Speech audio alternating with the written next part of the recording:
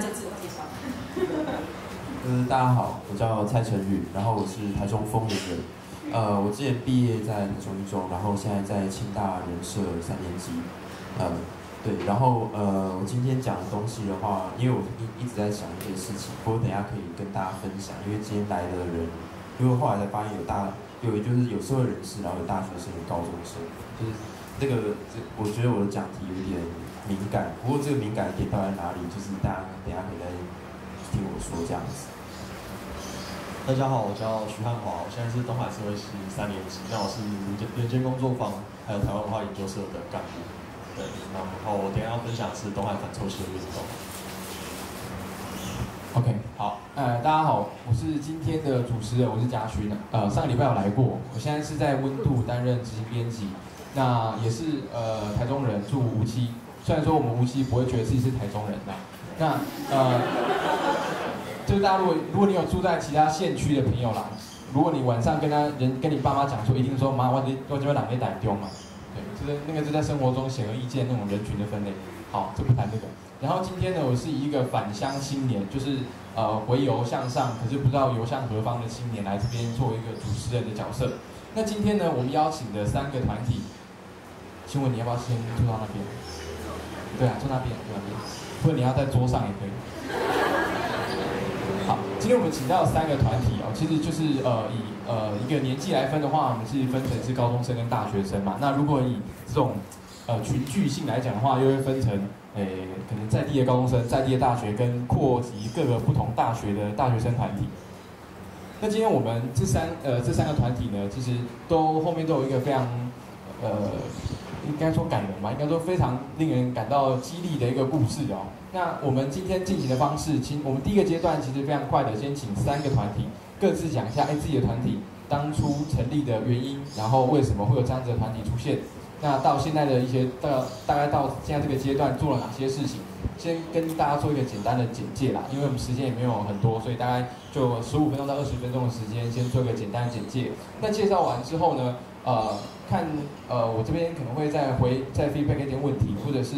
可能拉高中生的问题，然后来问大学生，或者是问用大学生在地大学生问题去问群聚的大学生，然后或者用大学生的烦恼去问高中生，去吓他们这样，就是让他们彼此之间产生一些激荡，那让他们彼此也可以对话，而不是今天三个来就好像中间隔着那个超级比一比的那个隔板一样，就是对着这些人，然后他们彼此都没有互动。好，那我在这边再做个引言，就是说，呃，在当地的青，就是。在地的青年呐，我自己抱持的一个态度，就是参加了非常多的呃一些议题，从反国光，然后可能像是大埔的事情。那你在呃跑那么多运动之后呢，其实你都有一种感觉哦，就是有点像为人为人作嫁啊，就是跑来跑去。最夯的去呃明年呃去年跟前年就最夯就是苗栗的议题嘛，就苗栗人非呃经历多了非常的苦难这样。可是有时候你想一想，发现大埔有农地征收问题，有都市重化问题，有工业区发展的问题。那台中这个地方，你们去看一看七七旗，看看南屯，看看北屯，看看西屯，这么多地方在动，哎，一点问题都没有。是台中是一个很和谐、彼此的地方，还是胡志强市政府都处理得很好？还是台中人就是耐心上的高，就是逆来顺受啊，吼吼吼吼哩吼哩啊，吼吼吼哩吼哩吼哩这样都没有任何的反抗。所以我们我遇到问题之后，我就觉得说我呃想要回来这个地方啊，就为了自己的家乡，看这这个地方到底哪里出了问题。这是对于一个可能参与社会运动的人的一种呃自我的期许跟期待，就是我秉持一句话，有一句话这么说，就是说所有的政治都是地方的政治。那呃或许换个方面讲，那所有的议题也是地方的议题。你不管这是任何全国性议题，到最后一定都是附着在某个地方。可是当然，face 可能就不是那么地方性的问题，可能这个价值不是价值的价值探讨。可是我相信更多的议题是存在地方，它的议题的。构架构可能可以很大，可是它必须在地方才能看到它那个问题所在。好，所以我觉得今天我们都这些人多多少少都是对于在地的或者在自己的生活周遭有感受跟那种莫名其妙的感觉，那种甚至是一种愤怒，甚至一种疑问才会站出来，然后做这些事情。那我们一开始哈，我们想说，你知道现在是青年的世代嘛？就自从三一八学运之后，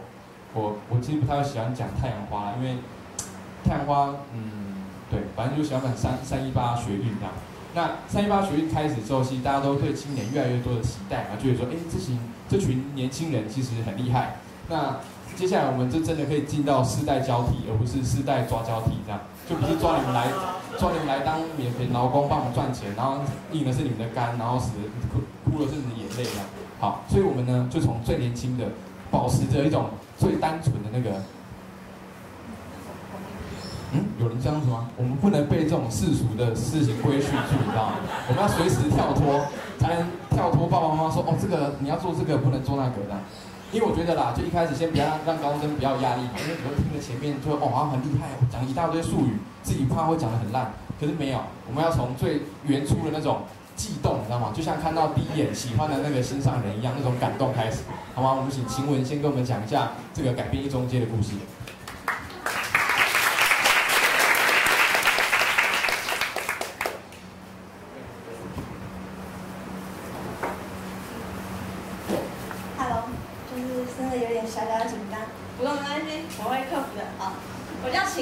对，应该如果有读过《红楼梦》的，应该会对我名字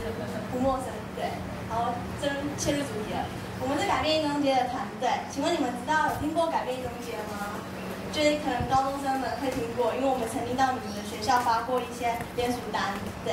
好，然后。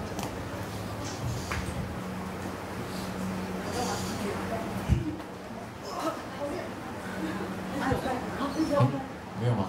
还是要声控？所以你讲下一章，然后就有人会去按。谢谢。OK，好，先请问一下大家，你们觉得一中街为什么要改变？有去过一中街吗？有吗？就是还蛮去补习吧。学生高中应该会常去那边是补习街，然后那边很多美食小吃。那你们觉得为什么我们要这么无聊？怎么讲？就是这么的，就是这么的跟与众不同，想要来发起这个活动。因为通常都去补习，哎，补习就回家了，因为那么累，干嘛还要改变呢？那你们觉得为什么要改变？对，人很多，对，很乱，还有呢？很脏。对，我是去补习，我是去补习的。对，还有吗？觉得很乱很脏，还有什么原因想要改变吗？还是觉得就他就让他这样啊？反正不关我的事，不是我家的事情，又不是我家没钱，我干嘛去扫地呢？这样吗？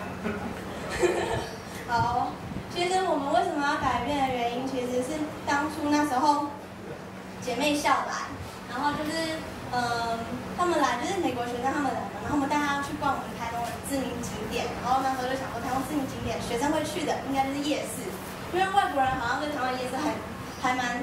就是蛮喜欢的，然后想要带他们去，然后结果那时候去的时候，那个同学就跟我讲，他就英文跟我讲，然后我说天哪，这是你们的夜市吗？然后我就说怎么了吗？然后他说真的假的？你不要跟我开玩笑哦。我说。真的吗？他说你们这垃圾很脏，为什么垃圾掉在地上？那为什么我逛街的时候旁边会有机车从我旁边过去呢？对，他们会直就是很多的疑问。然后这种问题，其实那时候我们听到的时候有吓到，因为想说平常我们就生活在这种环境底下了，然后也习惯了，然后就不会想说要去改变，反正就习惯啦。对，然后这就是我们缘起的原因。然后接着就是为什么我们会要发起这个运动，就刚好那个时间点是去年的这个时候，姐妹校来。然后就接下来就进入大家最喜欢的暑假了，对。然后暑假我们学校有有一些功课要做，然后我们就不想要白费所学，就是可能学校里面教的，我们并不想要就是当一个作业，然后做完交给老师就这样 over 结束了，然后没有任何实际的行动。然后想说高中那时候才高一嘛，傻傻的升高二，没什么事情要做，也不用复习，也还不用学测，就是距离学测来讲还有一段时间，所以至少我们有一段空白的时间可以利用。然后我们就想说，那就来做一点与众不同的事情。然后那时候刚好我们指导老师蔡启华主任，他就也非常鼓励我们，就想说好，哦那我们就可以来发起一个类似，呃，类似这种社会团体的运动，这样子。这是我们最初最初最小的梦想。然后也没想到，就是后续的效应会这么大。对。然后我们需要的资源，那时候想说，就先简单讲一下我们需要的资源，大概就是我们会查询资料上，我们可能需要一些法案。然后一些就是案例，之前的实施案例，就是之前其实之前一中街有曾经就是封过街，然后铺过道路，可是后来全部失败了。然后我们要针对这个问题进行进行探讨，为什么会失败？为什么现在一中街还是这么凌乱这样子？然后接着就执行，就是最基础的执行，就是大家能想到的执行，就是发问卷，就是问问看大家你们想不想要，就是改变一中街。我想问一下，你们对一中间，你们觉得它需要改变的可以举一下手吗？你们觉得它很脏很乱，可以改变吗？嗯，好，谢谢。对。然后最基本是这个，然后我觉得虽然是基本，可是我觉得最重要的是我们在执行过程中，我们绝对需要那个学校的支持。毕竟我们只是六位女高中生，然后就只是高中生而已。如果市政府面对我们，可能就觉得我们只是来闹的，然后说，哎，你们就就几个小女生在那边吵一吵，又没有人理你们，为什么我们要理你呢？为什么市政府要去理你呢？对，所以我觉得我们需要的是学校的支持和大家民众们，除了商家、当地商家，还有学生，还有民众们的支持，这样子市政府才看到我们的力量。这样，然后接下来就是困难和阻碍，我觉得这是一个团队合作里面最常遇到的。不管是冲突分工还是沟通呢，我觉得就是我们之间可以学习到。那等下后续会继续讲。然后阻碍的话就是家庭，我觉得这是蛮大因素。就举我个人例子来讲，就像那时候我爸妈并不知道我在做什么，他们只觉得为什么不花时间念书？为什么你每天都要上网？为什么你每天都往外跑？对，每次问我，然后说你成绩掉下来喽。对，然后我就。非常无奈的说，呃，我我就做一些做一些学校功课，因为那时候不敢确定就是社会运动嘛，因为就第一次做，然后没有任何经验，然后就想说就跟爸妈说这是学校作业，我非常认真在做，非常投入在，对，然后等到后续有一些效益，就是可能后来我们上报了，就是可能报纸上有帮我们宣传，就是这一个我们改变中间我们真正想做的事情，然后老师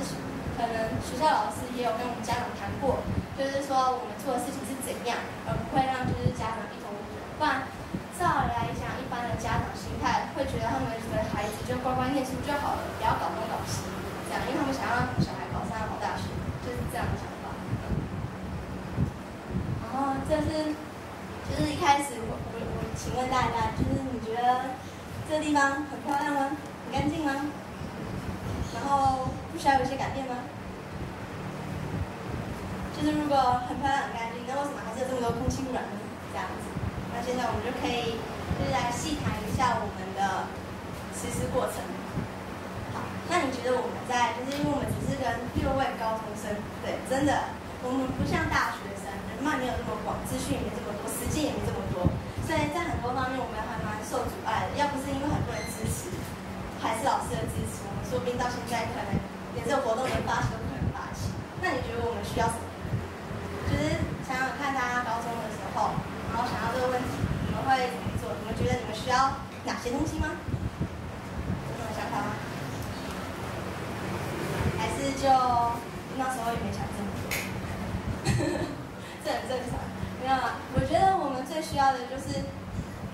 你们的支持。然后我觉得在这边，我想强调的支持，并不是就是除了就是大家的支持外，还有一点就是我们需要足够的。论点、论证还有证据，就是让市政府知道，我们并不是来开玩笑，我们并不是来闹着玩的，我们是真的很需要想要来改变这条街，希望这边可以成为台中的心，就是至少可以不要那么脏乱，然后到时候可能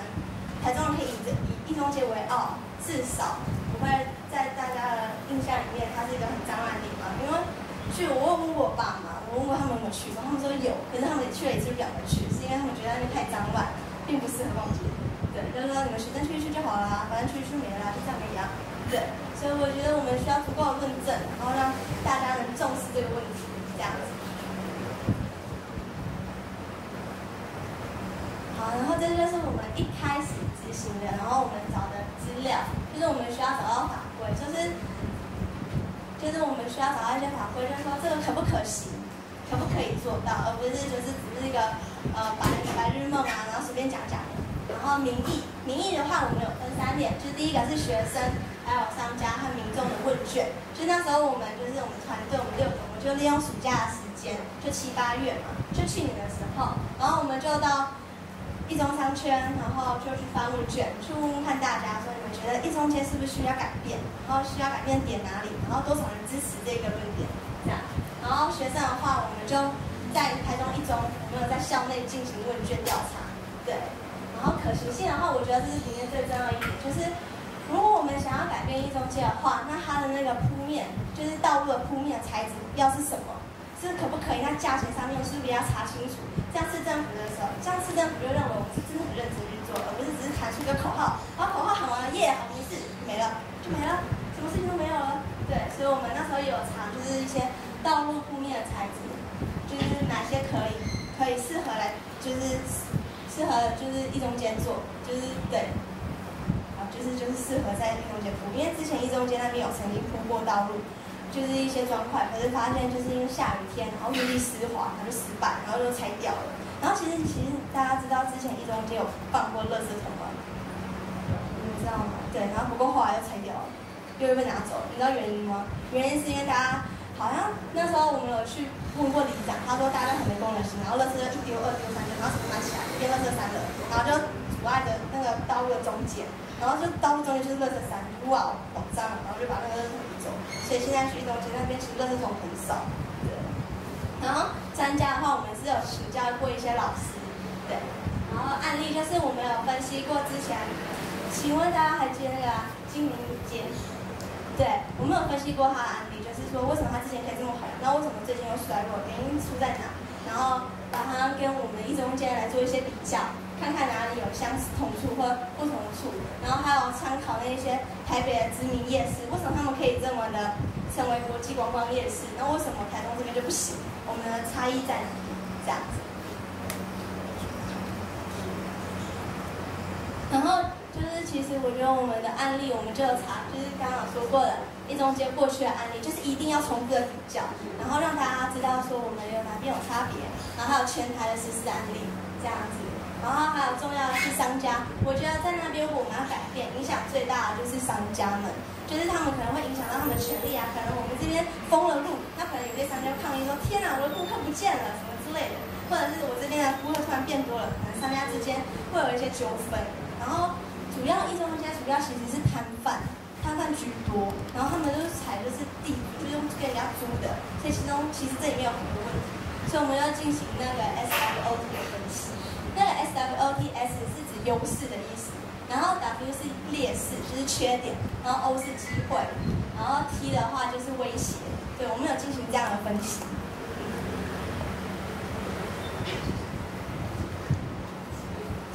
然后。这就是我刚刚说的，我们有发问卷跟联署单，就是刚刚有请问，就是大家，就是有些高中生，他们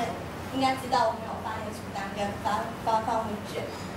然后还有网络沟通平台，我们有创办一个粉丝专业，就是在上面不定期的更新我们所做的行为，然后请问大家有什么意见，可以在上面留言，然后我们大家一起沟通，然后看看有什么更好的方法，这样子。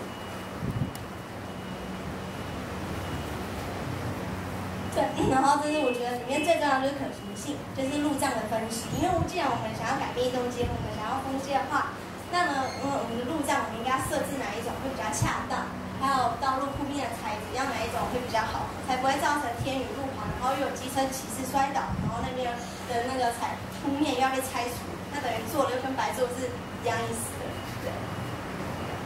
所以这段时间我们就分别就用七八月的时间，那时候空档很多。就去了，我们就去采访，这是采访店家，然后这也是店家，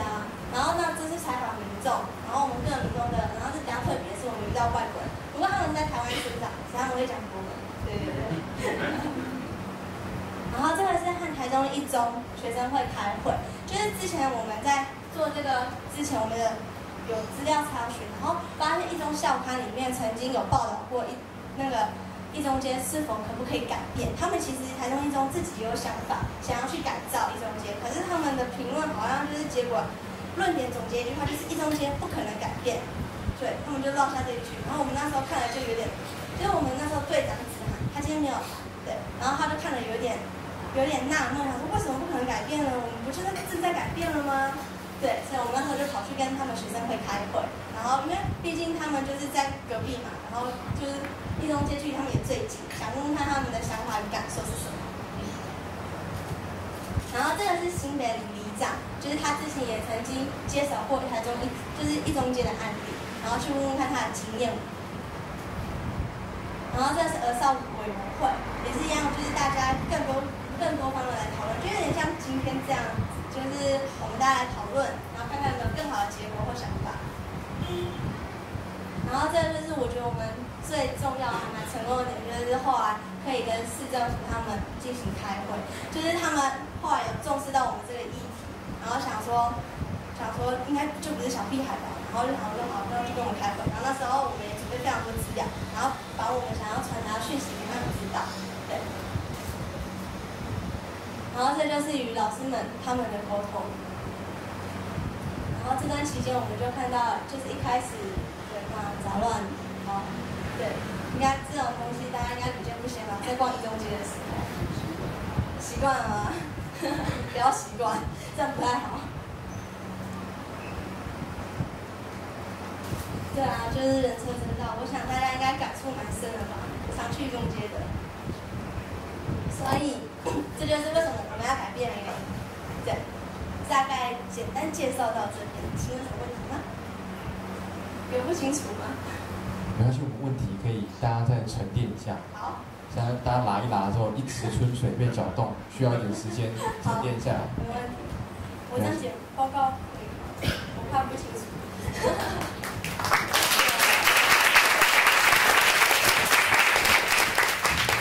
好，那接下来的话哈，我们就直接卖拖刷，不用来戏拖棚，直接请。哎就是我们从你那个，你你现在不是那个助理主持人没关系，你只要麦克风交出来。我们刚才听完就是高一个在地生活高中生，而且他们现在也还没有离乡嘛，对不对？大部分都是台中人，然后在这个地方生活，看到这个地方的脏乱，决定起身而行，做一些行动。那接下来我们再听一个，就接下来听个案例啊，就这些人可能不是，可能不是像我们介绍说我是台中人或者是哪里，可能在其他地方。可是他作为一个来台中移居来这个地方，呃，可能短暂的四年，啊，不幸一点五年，可怜一点六年，或者是呃，可能是硕士班嘛，对，或者是更长的时间在这边居住的人，那他们怎么看待这个居住的环境？可能是校园或者是周遭自己住的宿舍周遭。那所以我们接下来请我们东海东海反抽系联盟，好，我的召集人徐汉华跟我们讲一下反抽系联盟的例子。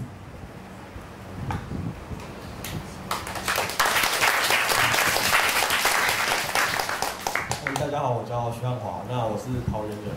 哎，我先记一下手，怕我时间讲太久。好，然后呃，我家我家住在桃园，那我是在二零一零年的时候来到东海大学，就台中这边来读书。那我跟在座的大部分人都是完全不一样。我对台中这边的认识也仅止于在东海大学附近，然后很少东海大学不知道什么就像一一一个遗世而独立在山上的修道院，附近可以供给所有的就是生活需求，很难得可以下山一次，对啊。然后我今天呃，我是东海大学的一间工作坊的成员，那他是一个关心学运学生运动的，关心社会议题的一个学生运动社团，那已经二十五年了。那年纪比我还要大，就希望他可以再继续下去。对。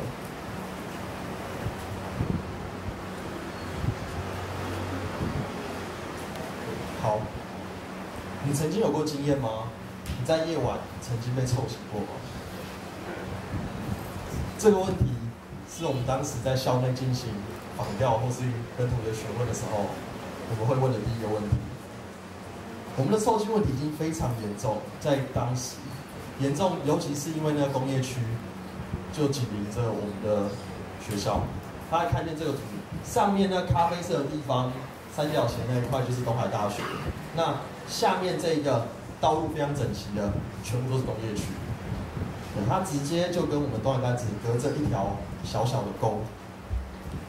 那东海大学附近有总共有三个工业区，这是台中工业区。另外还有对面的台中经济以及呃中科，所以东海大其实是一个大呃东海大过去是台中市的边缘嘛，就台中市的边缘，所以其实台中把很多的不想要放在市中心的东西，全部都往那边丢啦，就是我们变成是台中的后山。那除了把所有的像焚化厂、焚化厂啊，或是那个还有很多垃圾掩埋场或什么，都会放在台中市的边缘。那这个工业区，它是甲级污染工业区，它对我们都，它我们的宿舍其实就在那条河旁边嘛。我们看见这个这样的臭气是怎么样产生的？其实它在一九七三年的时候，台东工业区就成立了。那它对，其实它成立的时候，它完全没有按照一个国际惯例以及我们东呃台湾的法律去设立缓冲区，它非常直接的就临近我们的住宅区，还有我们的教育机构。那这一点是当初规划的时候，可以说是非一个非常吊诡的地方，因为他们一开始是成立一个乙级工业区，就是没有污染的、比较环保的啦。可是它成立好之后呢，台台中市政府觉得啊，不行，我要发展不一样一点的产业，我要发展电镀业，我要发展很多金属的或什么什么之类的。石化的，所以他就把这乙级工业区改成甲级工业区，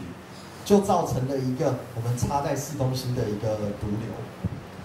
那尤其是在这个工业区里面的很多厂商啊，他没有企业社会责任，他不知道不能把这些污染的成本由我们一般的市民或是学生来承担，所以他就把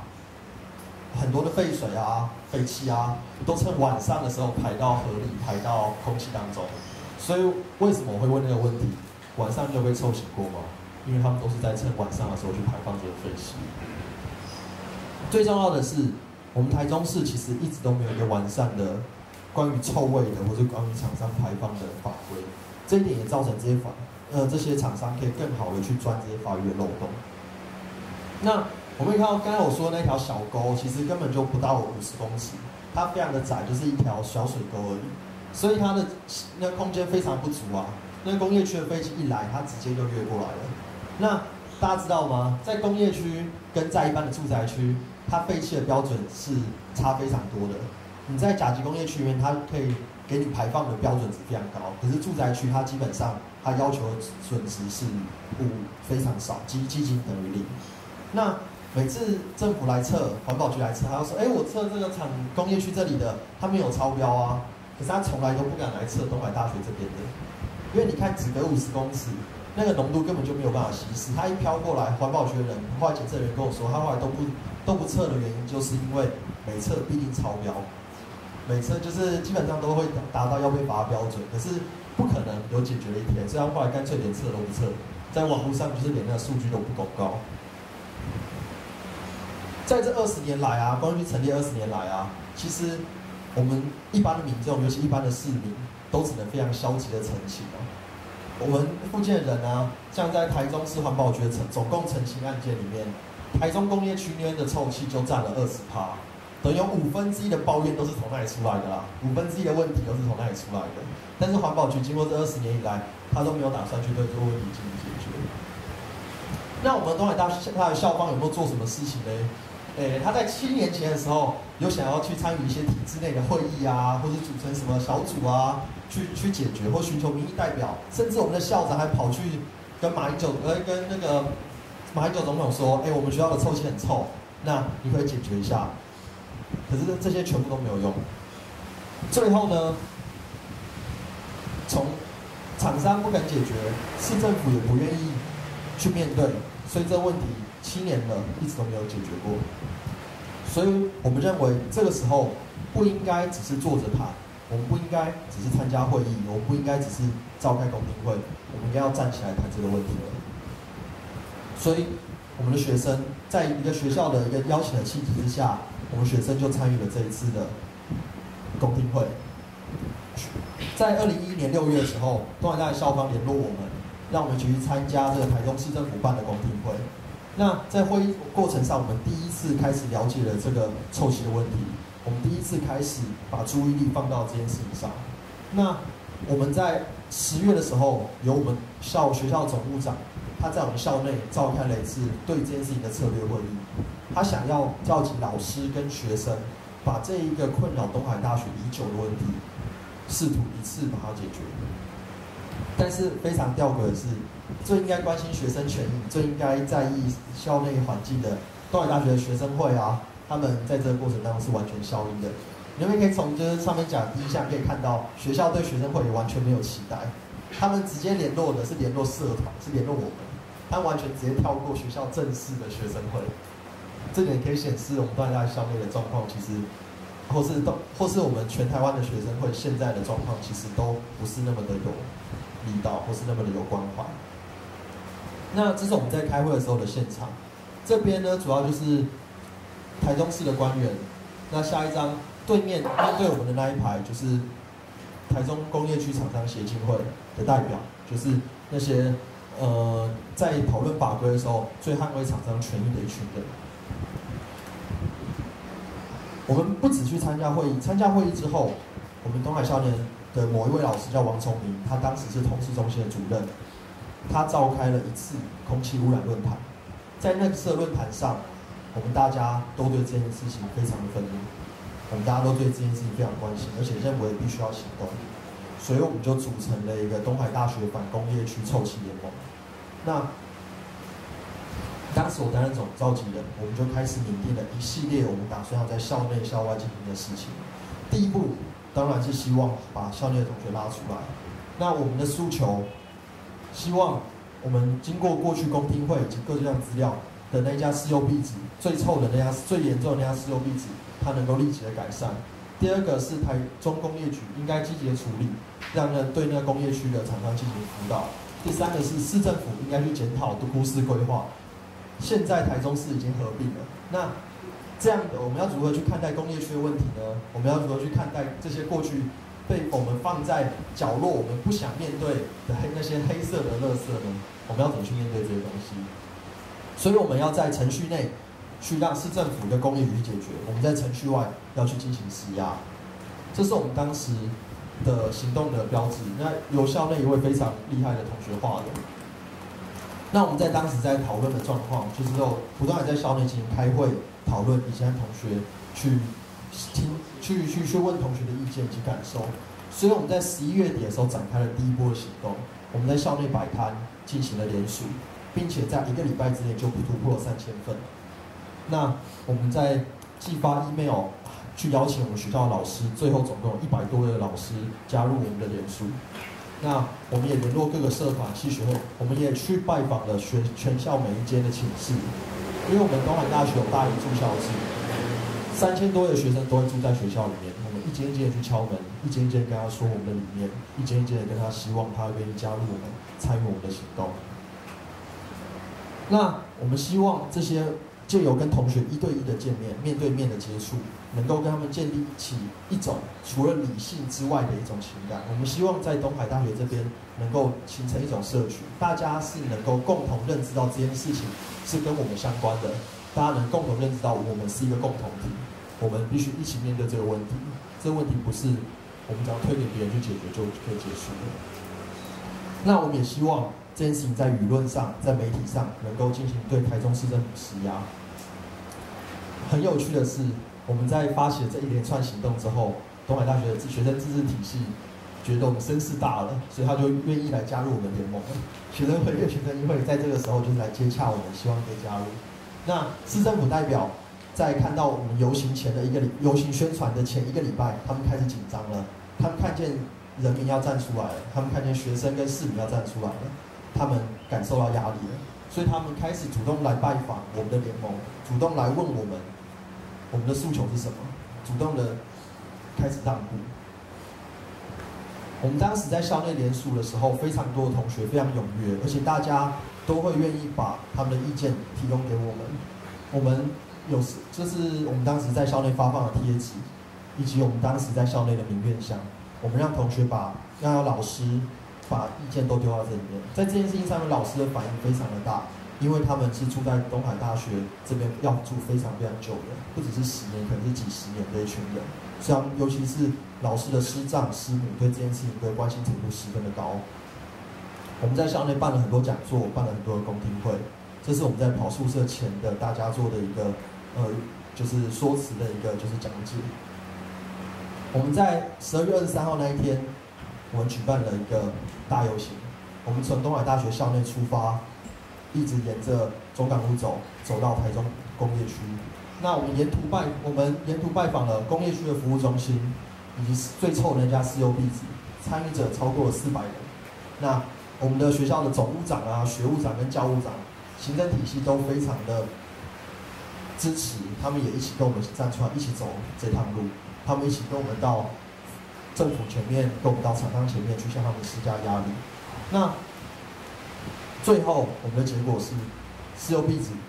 它在我们游行之后，撤除了他们最臭的那条生产线，他们就是我们的抽吸问题在那次之后获得了些微的改善，不能说全部，因为这个这件事情，只要工业区都还在，或是我们还没有一个完整的都市规划，这件事情就不可能解决。这是我们当时游行的画面的。当时老师啊、学生都非常踊跃的站出来，而且我们现场就是有做很多的道具，让同学去，呃，去去表达，就是去去展示我们的诉求。那我们在之前也有去跟警方瞧我们的路权，希望，呃，我们的游行是可以一切都是很顺利的。这是在工业区服务中心前的照片，我们大家就坐在前面，向着工业区。的工业局的服务中心去喊出我们的诉求，并且希望他们能给我们承诺。最后，我们到了四六 B 子的前面，我们把我们的诉求以及我们给他的一个封条，上面写着“工业区最臭”，把它贴在他的门口。那希望他能够警惕。我报到这，谢谢大家。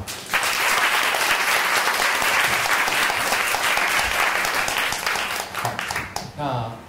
呃，我们刚才看到这个东海反抽气联盟的行动啊，这是在一个运动的成效跟目的上已经达到一定的成果。那其实，呃，等一下我们有问题哈，就可能在更深入的问一些问题，那大家也是可以先想一下，比如对于这整个的行动里面有一些点，是不是很很好奇，或者是觉得哪些东西想要知道更多，我们等下可以再给大家提问。那我们接下来再来请上海屯读书会，就是我们台中在地由大学生发起的一个，呃，一个。蛮诡异的团体，到底是一个读书会呢，还是一个旅游团呢，还是一个吃喝玩乐的团体呢？哎，我们接下来请我们那个三海屯读书会的成员蔡成宇来跟我们介绍一下三海屯读书会。嘿，大家好，就是呃，我今天来这边，然后跟大家分享我们三海屯读书会。呃，请容许我坐着讲，因为我没有准备 PPT，所以也不需要就是就是站起来，然后比较有气势这样，我就先坐着。而且我我自己有准备一些讲纲是用电脑放，所以我还是用坐着讲比较适合。然后呃，我先讲一下，就是我今今天这个讲就是这个讲题的一个内容，就是我觉得我今天来讲的一个东西，它其实是一个。还算是一一个比较纯粹的 idea。我觉得我们过去在肯读书会，从二零一一年底，然后到今年，今年这段时间里面，虽然办了很多的活动，但是其实我们整体来说，并没有就是获得就是非常明确的成效。但是我可以。做的事情就是我们来跟大家分享说，为什么我们当初会有这样一个读书会，然后我们在举办的这些过程中，然后遭遇了什么挫折，然后碰到了什么问题，这个东西是我觉得最应该分享给大家知道的。呃，我先从我自己的经历讲起。呃，我现在是大三的学生，然后呃，因为我重考一年，所以我四年前，四五年前的时候，啊，我还在大，哎，还在高中里面念书。那个时候是我高二的时候，我高二的时候其实是一个呃，已经不是很不是很喜欢念书的一个年纪。就是我知道说有很多事情不是呃只有念书，就是在我的的生活里面，就是我跟我的我的其他同学不太一样的地方，大概是在这边。可能其他同学是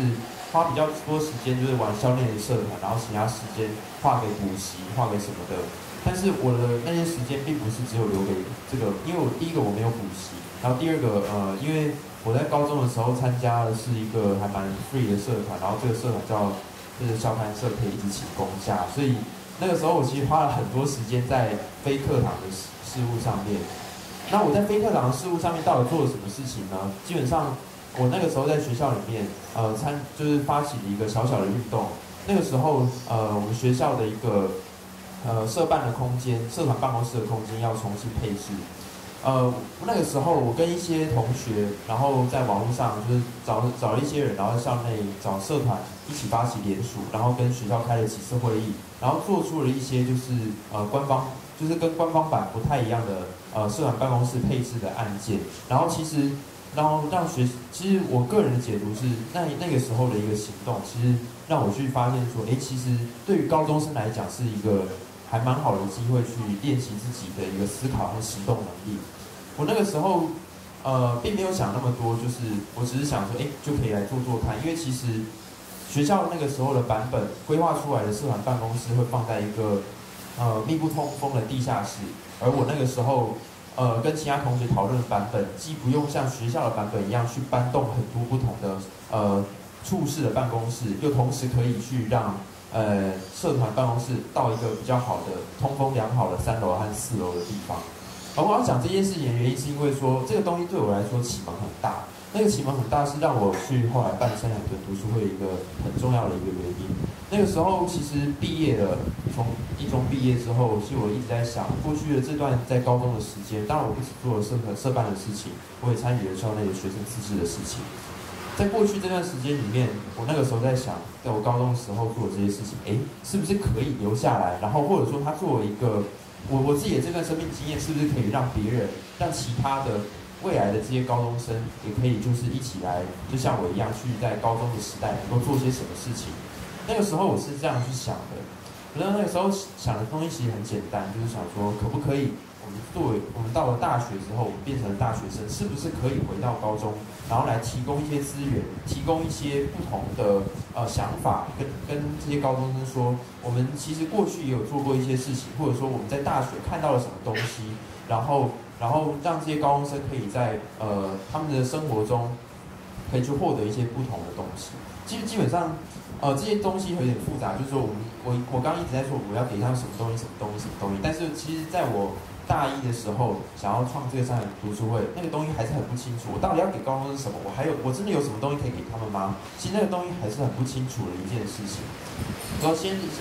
先讲这个很最初的发想到这边，我我要从另外一个角度来看，就是上海的读书会，就是刚其实，在泽武一开始，我是第二次来泽武，就是台台中的泽武第二次，然后我其实有一点紧张，但是我我让我觉得不紧张的事情，就是我逐渐在这个场合上面逐渐感到不紧张的事情有一个，那就是大家大家刚刚在开始的时候都做了自我介绍，虽然说大家都很短而且很客气。不过，我觉得重点是说，大家在这个自我介绍的过程中，哎，开始去表露说，哎，你是谁这件事情，就是你渐渐用一些方式去表露说，哎，你是一个什么样的人，你可能住在哪里，你的职业是什么，你过去读的学校是什么，等等的这些事情，你渐渐在自我介绍中去表明你的身份。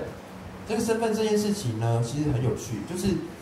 我觉得这这件事情有趣在于说，有一些身份是你自己想要的，你觉得这个东西对于你这个身份对于你有益。譬如说，你可能觉得你读过东海大学，也是一个就是很荣耀的事情，因为校内可能有一些学生，然后很就是很积极的在参与一些社会运动等等，或者说你你做了职业，然后让你觉得哎这个这个职业让你觉得很有成就感，这个是对你有意义的身份。然后有一些身份，譬如说像高中或大学，有一些人会觉得这些求学的身份。对我们来说，并不一定有意义。像我，我是一中毕业，可是不一定每一个跟我一样一中毕业的同学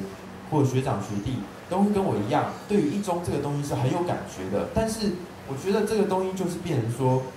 正因为我对于我过去的一些身份是很有感觉的，我觉得高中生这个年代对我来说是很有感觉的，所以我就觉得，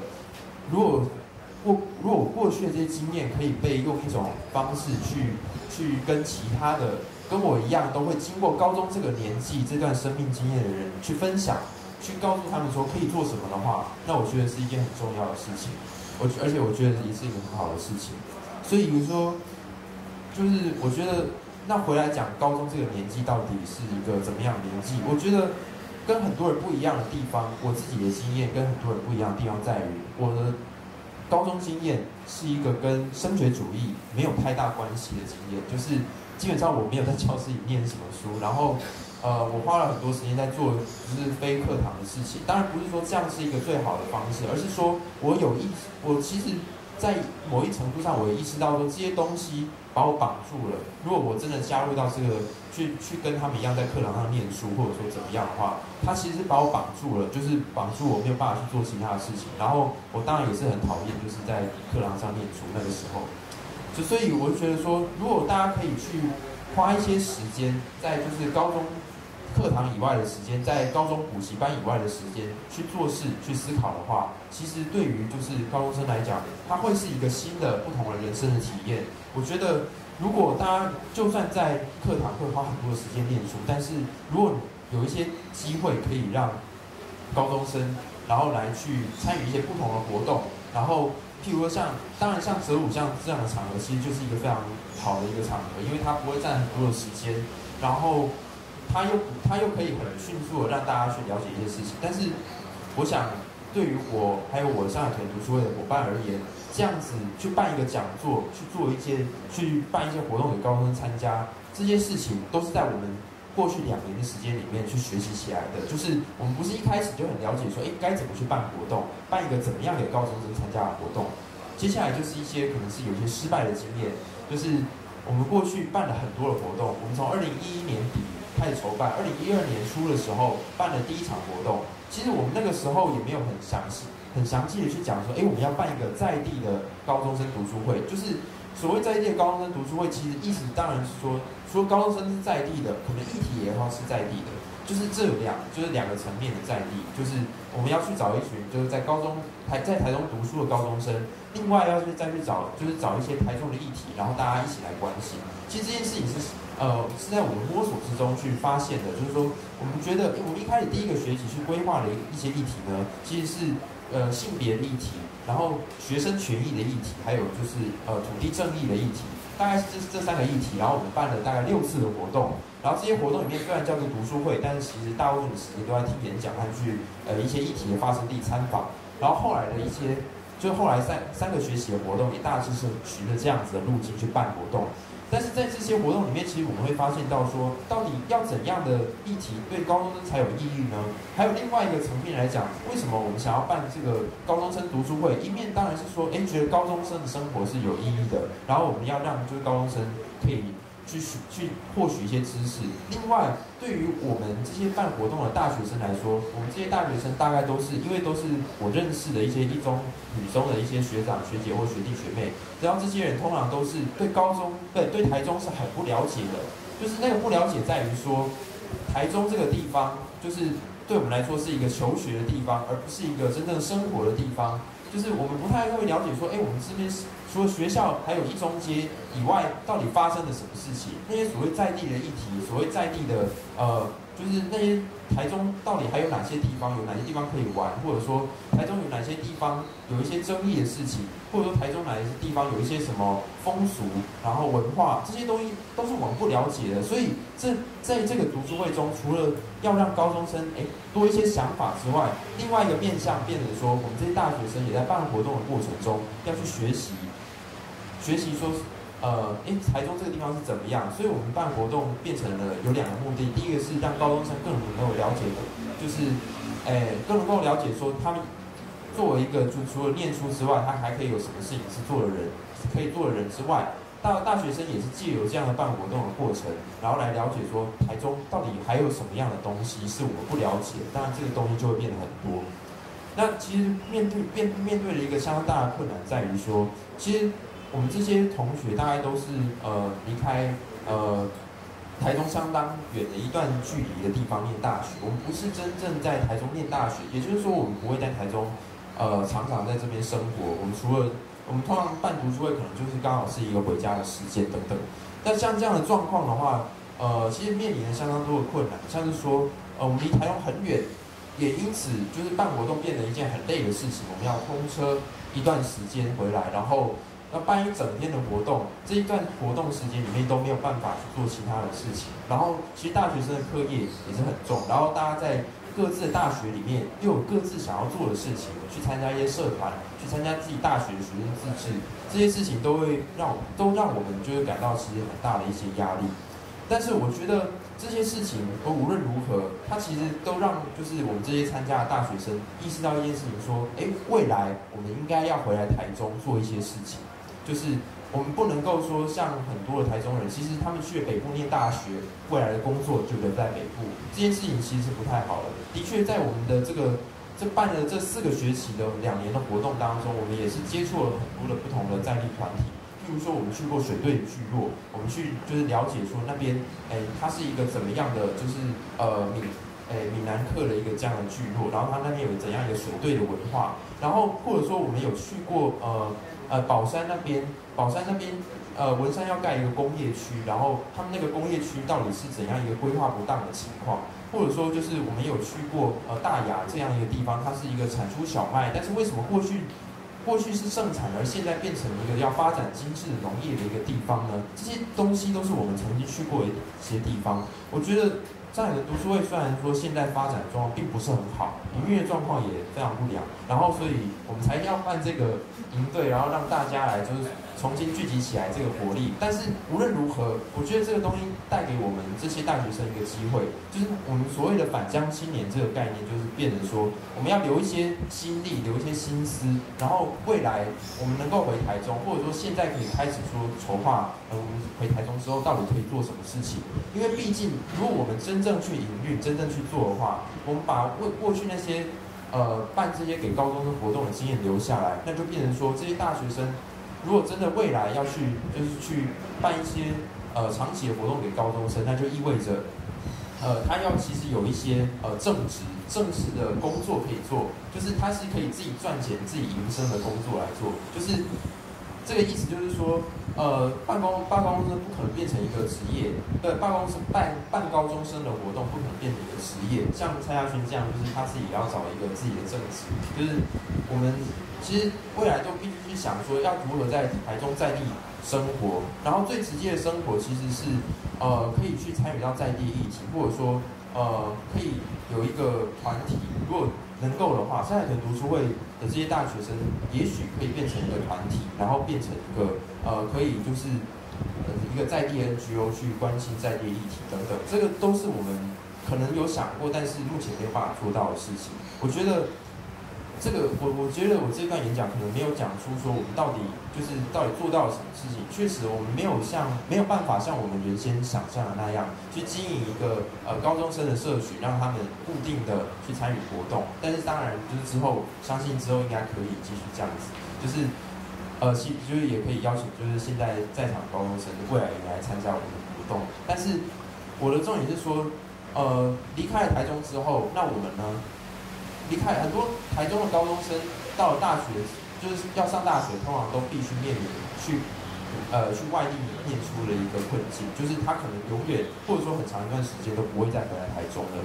那对于这些人来说，那台中还是重要的吗？那为什么对于你来说，台中还是一个重要的地方？我自己有一套我自己的经验，那我也有一套为什么我要回来的理由。但是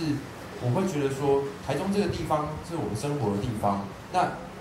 到底要怎么样让它变得更好，或者说变成未来我们可以回来可以生活的一个地方，而不是它是一个乡愁的地方？这是一个我们办读书会呃整个经验里面，我觉得最重要的地方。然后，当然不是说只有这些原来的台中人可以来办这样一个读书会。我也会觉得说，只要是所有的台中人，他所所有在台中生活的人，他应该都有能力来办这个读书会。所以，其实，在未来我们会也会很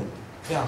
希望有一些真的在台中念书的大学生，比如说刚刚蔡亚勋说，哎，像徐汉华这样，可能在就是不是台中人，然后在就是。可能在台中会念了好几年书，但是其实如果你觉得台中是一个值得生活的地方，那我觉得这个认同就没有那么，就是原来的原来就是出生的那个地方的认同就没有那么重要，反而是你最生活的那个地方才是重要的。然后我会希望说，那个培力就是能够给高中生一些多一些东西，然后我们自己又可以在这个过程中变成台中人，这是在读书会一个就是就办这个办这个读书会最大的一个目的了。好。谢谢大家。好，好，非常感谢三位就是这样子精彩的跟大家分分析了他们这段哦分享他们这段时间以来做的一些事情。可是刚刚有人帮我起底哦，其实我也是上海图的成员，只是你知道故意就是为了要保持中立的那个主持人角色，所以就不要讲这些事情，不然人家讲说哎上海图是来两个，是不是比较独厚啊？其实没有，但其实我们台中在地有非常多的这个行动啦。那我们现在其实时间还很多，那就先容我在，我先问三位一些问题哈。第一个，我先问那个新闻，好，那个刚才看你们的这个分析哦，就觉得这是一个非常非常厉害的一个，可能是在科展啊或者在小论文的报告上，一定可以拿到高分的一个作品。那我其实有一个好奇的点是说啦，就是说这些那么那么认真的，呃，看起来很。呃，像 SWOT 分析啊，或什么的，其实这个在高中应该是不会教的嘛，对不对？对，没有对，那我只有两个问题啦。第一个是说哈，我们在这个在，我比较好奇说，你们在这整个行动中啊，带领你们去找校长，带你们去找市政府，是跟是谁带你们做这个这个动作？那你在跟这个人一起做的时候，你自己身为一个执行者的感觉又是什么？哎，这是第一个问题。好，那第二个问题呢？第二个问题就是说。就是像呃，这是第一个问题跟第二个问题是一样的，就像汉华他们在讲说，他们东海的反臭气联盟嘛，可能去找过市政府，可是政府不理他们。那如果我们都说我们在做的都是一个社运、一个社会运动的话，呃，你觉得为什么你们的行动跟他们的行动，为什么在市政府的态度上会有不一样的态度？就是市政府为什么可以接见你们，可是不见他们？哎，这两个问题，你要先讲吗？还是？好，我先讲。好，先讲。就是其实第一点就是我刚刚有说是我们指导老师蔡启华主任，他是一个淡不到热忱的老师，然后就是他在很多公共议题非常有兴趣，然后他也非常鼓励学生不要只死读书，然后应该会有有有点行动这样。然后在我们在整个参与过程，我会觉得可能大家看看就觉得这没什么，就只是一个很简单的活动，然后就简单带。哦，对，我有带宣传单，你们可以看一下，请我的伙伴们帮忙发一下，就是我们之前的宣传单。没关系，就发上去吧，就让大家简单看一下。然后我觉得就是不管这个活动到最后的成果会是成功或是失败，至少据我所知，我伙伴有告诉我说这一个。改变一中间的这个方案啊，好像已经列入明年的什么预算规划当中，就是政政府有重视这个问题了。可是我觉得更重要的是，从这活动里面，我们学到一点是，我们有新的观点，而我们不再只是。默呃默默待在教室里面，看着老师写的黑板，然后就这样听课。而我们是有新的想法，然后我们也不是说就是提出一些理念，然后就光说不做。我觉得这点很糟糕，因为如果大家光说不做，那每个人都会说啦，不是吗？为什么有没有行动呢？所以我觉得行动很重要。所以我们不想成为那个沉默的一代，所以我们就跳出来。虽然有点傻，一开始遭受很多批评，对。然后就很多人可能不看好，可是后来陆陆续续看到有一些成果、一些发表，可能一些比赛得奖之类的，然后大家就开始觉得哦好，好像不错嘛，有一些回馈了这样子。这是第一点。然后第二个是就是市政府，其实我们一开始很惨，超惨，根本没人聊我们，就想说我们就是小屁孩，真的是小屁孩。那时候我们我们有打电话去给一些。就是一中有关一中商圈的委员会啊，想要问他们一些问题请教，然后他们会互推皮球，想说这不是我管的东西，为什么你要问我？你们请请你们去找某某单位，然后我们就打电话去某某单位，然后去请教一些问题，说请可能请教他们呃那方面一些道路规划问题啊，或者是实施就是之前案例的分析，想请他们告诉我们一些经验，可他们都会非常就是非常就是大人嘛，然后就会觉得我们只是高中生，不会重视。然后就觉得，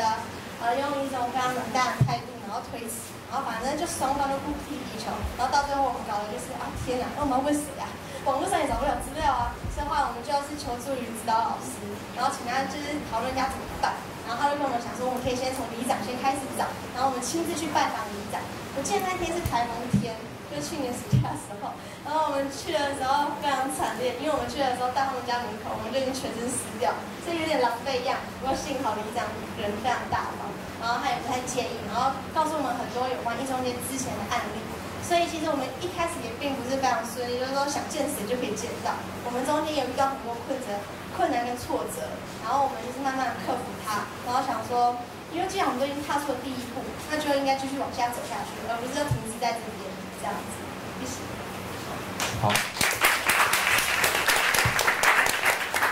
我可以处理主持人，嗯，给我准备。好，好，那啊，好，刚才就是听完新闻的，就是我个人一些小小的问题，他的回答哦。那接下来哦，其实我就是不免俗也要问，继续问下去了，对不对？那接下来就问到汉华的反臭气联盟，看，哎，其实有个几个问题啦，哈。第一个是说。这个运动啊，我们看到有一个初步的胜利，就是拆除了最臭生产线。可是这个在这个运动达到这个目的之后，呃的之后呢，哎，这是第一个问题，就之后是什么？那第二个是我我蛮好奇，就这个运动看起来像是一个由老师带起来的，然后学生加入，以时序上来讲看起来是这样，是老师带起来，然后学生加入的行动。可是学生在这个老师呃发起行动之前。是不是有其他的一个其他的行动，只是被埋没在后来的这个历史叙事里面？就是他好像是老师带起来或什么之类，这是第二个问题。然后第三个问题哈，就是这比较小啊，就是说在你们在行行动中，是不是有遇到一些价值观上的冲突？因为可能呃，我们会像在呃废死的议题上，你们会觉得说死刑有它一定的社会意义，然后废死有它的人权价值。那可是臭气上好像不会有那个价值观上面的冲突，我觉得说臭气很好啊，就是让我们才能让人类警觉到有危险，就像瓦斯有臭味，你才会觉得说它是瓦斯有危险啊，是不是有这样子的呃价值观上的冲突？好，你帮回答一下。好，呃，三个问题，第一个是问后续，第二个是问就是这个是老师跟学生之间的互动关系，对，那或者学生是不是之前就已经在进行一些什么行动？是。那第三个是关于价值的价值。好，就在这边后续行动部分，我们在这次运动之后，我们就跟东海大学附近的社区进行进行联系，然后呢，跟他们的社区人每周都去他们社区开会。那希望这个运动从一个学生的运动，转而变成是一个周遭社区一起来做的运动。那我们学生在这个地方，因为毕竟学生在这边是一个流动的身份，我们四年就会离开。那我们不能保证四年之后这场运动还有没有办法继续下去，所以我们后来就是。希望能有能跟在这个地方会一起会一直待着的，在这边的市民一起合作，所以我们后来在附串联了附近几个社区，那跟附近社区人一起开会，那并且这社区后来也要求了很多，譬如说环保局定期要来检验抽验，或是改善改进他们的设备之类的之类的之类的事情。对，那后来这个社区它在大概在去年的时候才比较就是。达成他们社区的想要的一些东西之后，就是后来就是就没有固定开会了。对，那运动差不多是到去年大概到一个段落。那中间历经蛮多的转折啊。其实我觉得刚才这可以串联到刚刚嘉勋提到的第二个问题，就是老师跟学生，老师发起，那在这里面学生的角色是什么？那其实一开始老师在王聪明老师啊。他在弄那论坛的时候，其实他的态度是偏保守的。他一开始只是希望能够大家能够共同来分享想法。那在这个里面，去促成后续的整个的校内的摆摊啊、联署啊，或是最后的大游行，这些构想都是我们逼着老师，我们推着老师，我们让老师慢慢的、慢慢的可以接受，行动越来越高。高度，我让让这些老师的观点，慢慢的破除，哎，我们原来可以做到这么多的事情。在开头是老师，但后来让这件事情能够越来越高度，行动人越来越多的，这边可能是学生的角色是比较大。那第三个价值观的冲突的部分，其实在这件事情里面，蛮多的。一开始我们要面对蛮多的价值观冲突，是其实大家会一直以为就是工业区。它给我们的经济发展带来什么样的好处？它哎，它好像帮助我们增加很多 GDP 啊，好像很多人都在工业区工作啊。那在这里面会遇到一种冲突是：第一个，我们台湾的、我们台中的经济、我们台湾的经济是需要用到这种方式来发展吗？那第二个是，我们想要一个什么样的生活环境？我们想要一个什么样的生活方式？那在第一个在部分的时候，呃，我觉得这个问题蛮大的。那这边我可能就是关于我们台湾，我们台中，我们需要一个什么样的经济？我认为这个部分可以不只是追求一个数字上的，或是追求一个纯粹金金钱利益，而且而把很多的污染啊这些外部成本往外丢这样的经济模式。那第二个问题，我觉得。我们每个人都应该要有呼吸的权利，我们每一个人都应该要有一个基本的健康的生存的权利。如果连这一点都做不到的话，我不我不认为这个国家有把我们把你当做一个有尊严的人去看待。好，果然就上升到一个很大的一个价值的层次了。没关系，那我们接下来上海屯读书会也不会幸免于难。其实两问题很简单啊，两个啦，就不能说我是上海屯的成员，然后我就放过上海屯。其实。不断的就在自省，不断的批判跟互斗中向前走呢，大家就是互扯着头发向前走，看向我们的未来。虽然说我们的未来都是头往后仰的看呢。好，那接下来有两个问题哈，第一个就是说，对高中生来讲啊，像新闻啊，可能有遇到一个很好老师，或者是，诶，我现在其实像高中生很会四处乱跑，可能可以来折舞，可能可以去台北参加学运，可以去很多地方去参加台北的折舞，就是一个。如果讲起来的话，就去老店嘛，去本店看，不用来分店呐。或许啊，我的我的就有些人可能会有这种想法。那在高中生有现在那么高的能动性跟自主性号资源管道之后呢，为什么要来参加上海团？这第一个问题。第二个，那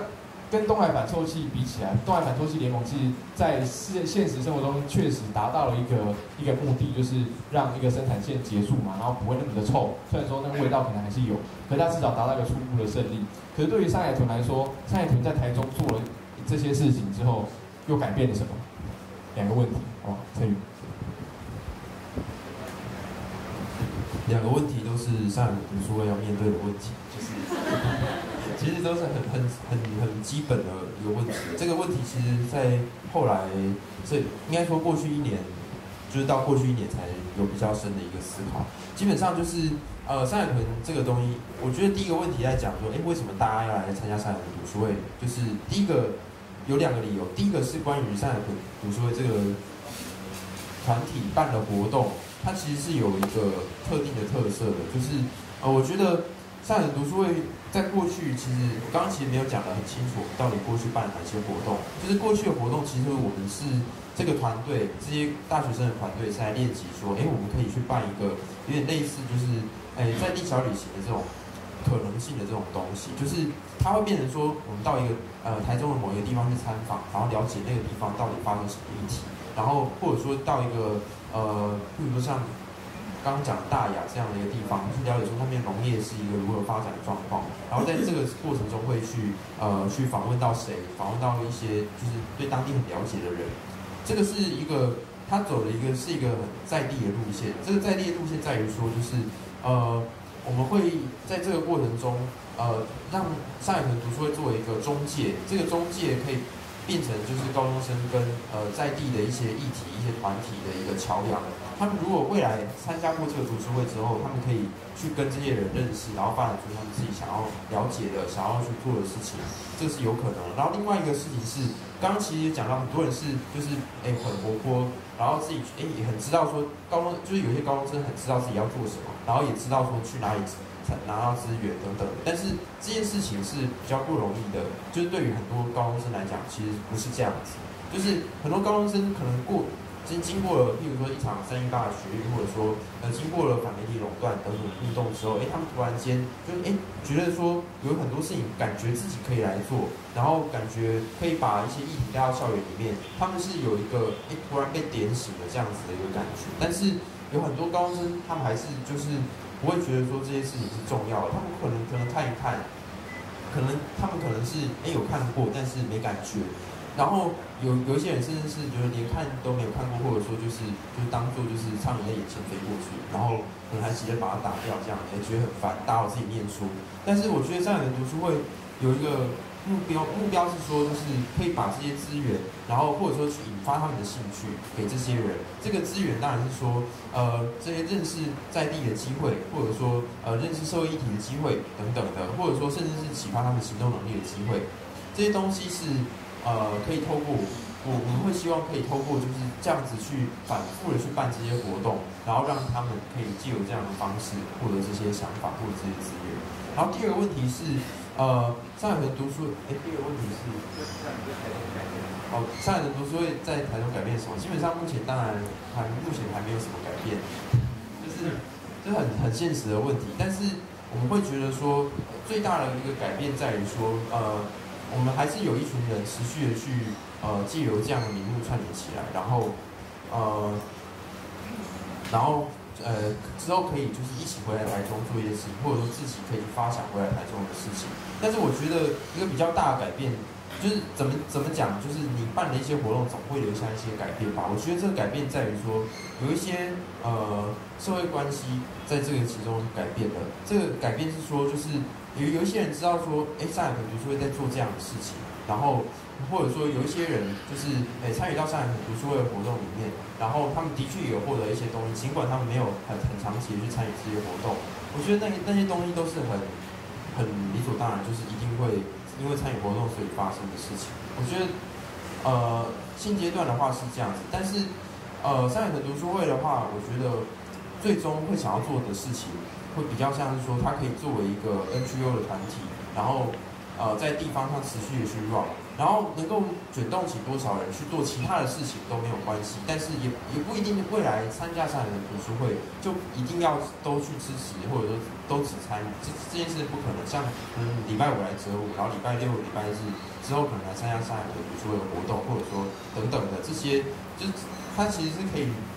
预预期上是可以去卷动大家来参与，只是我们过去可能因为一些经验上的不足，宣传做的不好，然后行程上安排的不好。就是这些可能都是我们有待改进的地方。好，好，感谢三位。就是这个问题我问完了啦哈。那接下来的时间呢？哇，我们比过去的几次演讲还多了非常多的问答的时间。好，那我们接下来呃，接下来我们进到这个提问的时间，或者是你要分享的时间。那刚好，等一下，忙举手，那么快，那么踊跃。好，那我们先讲好不好？来来来，这边先，需要一个助手。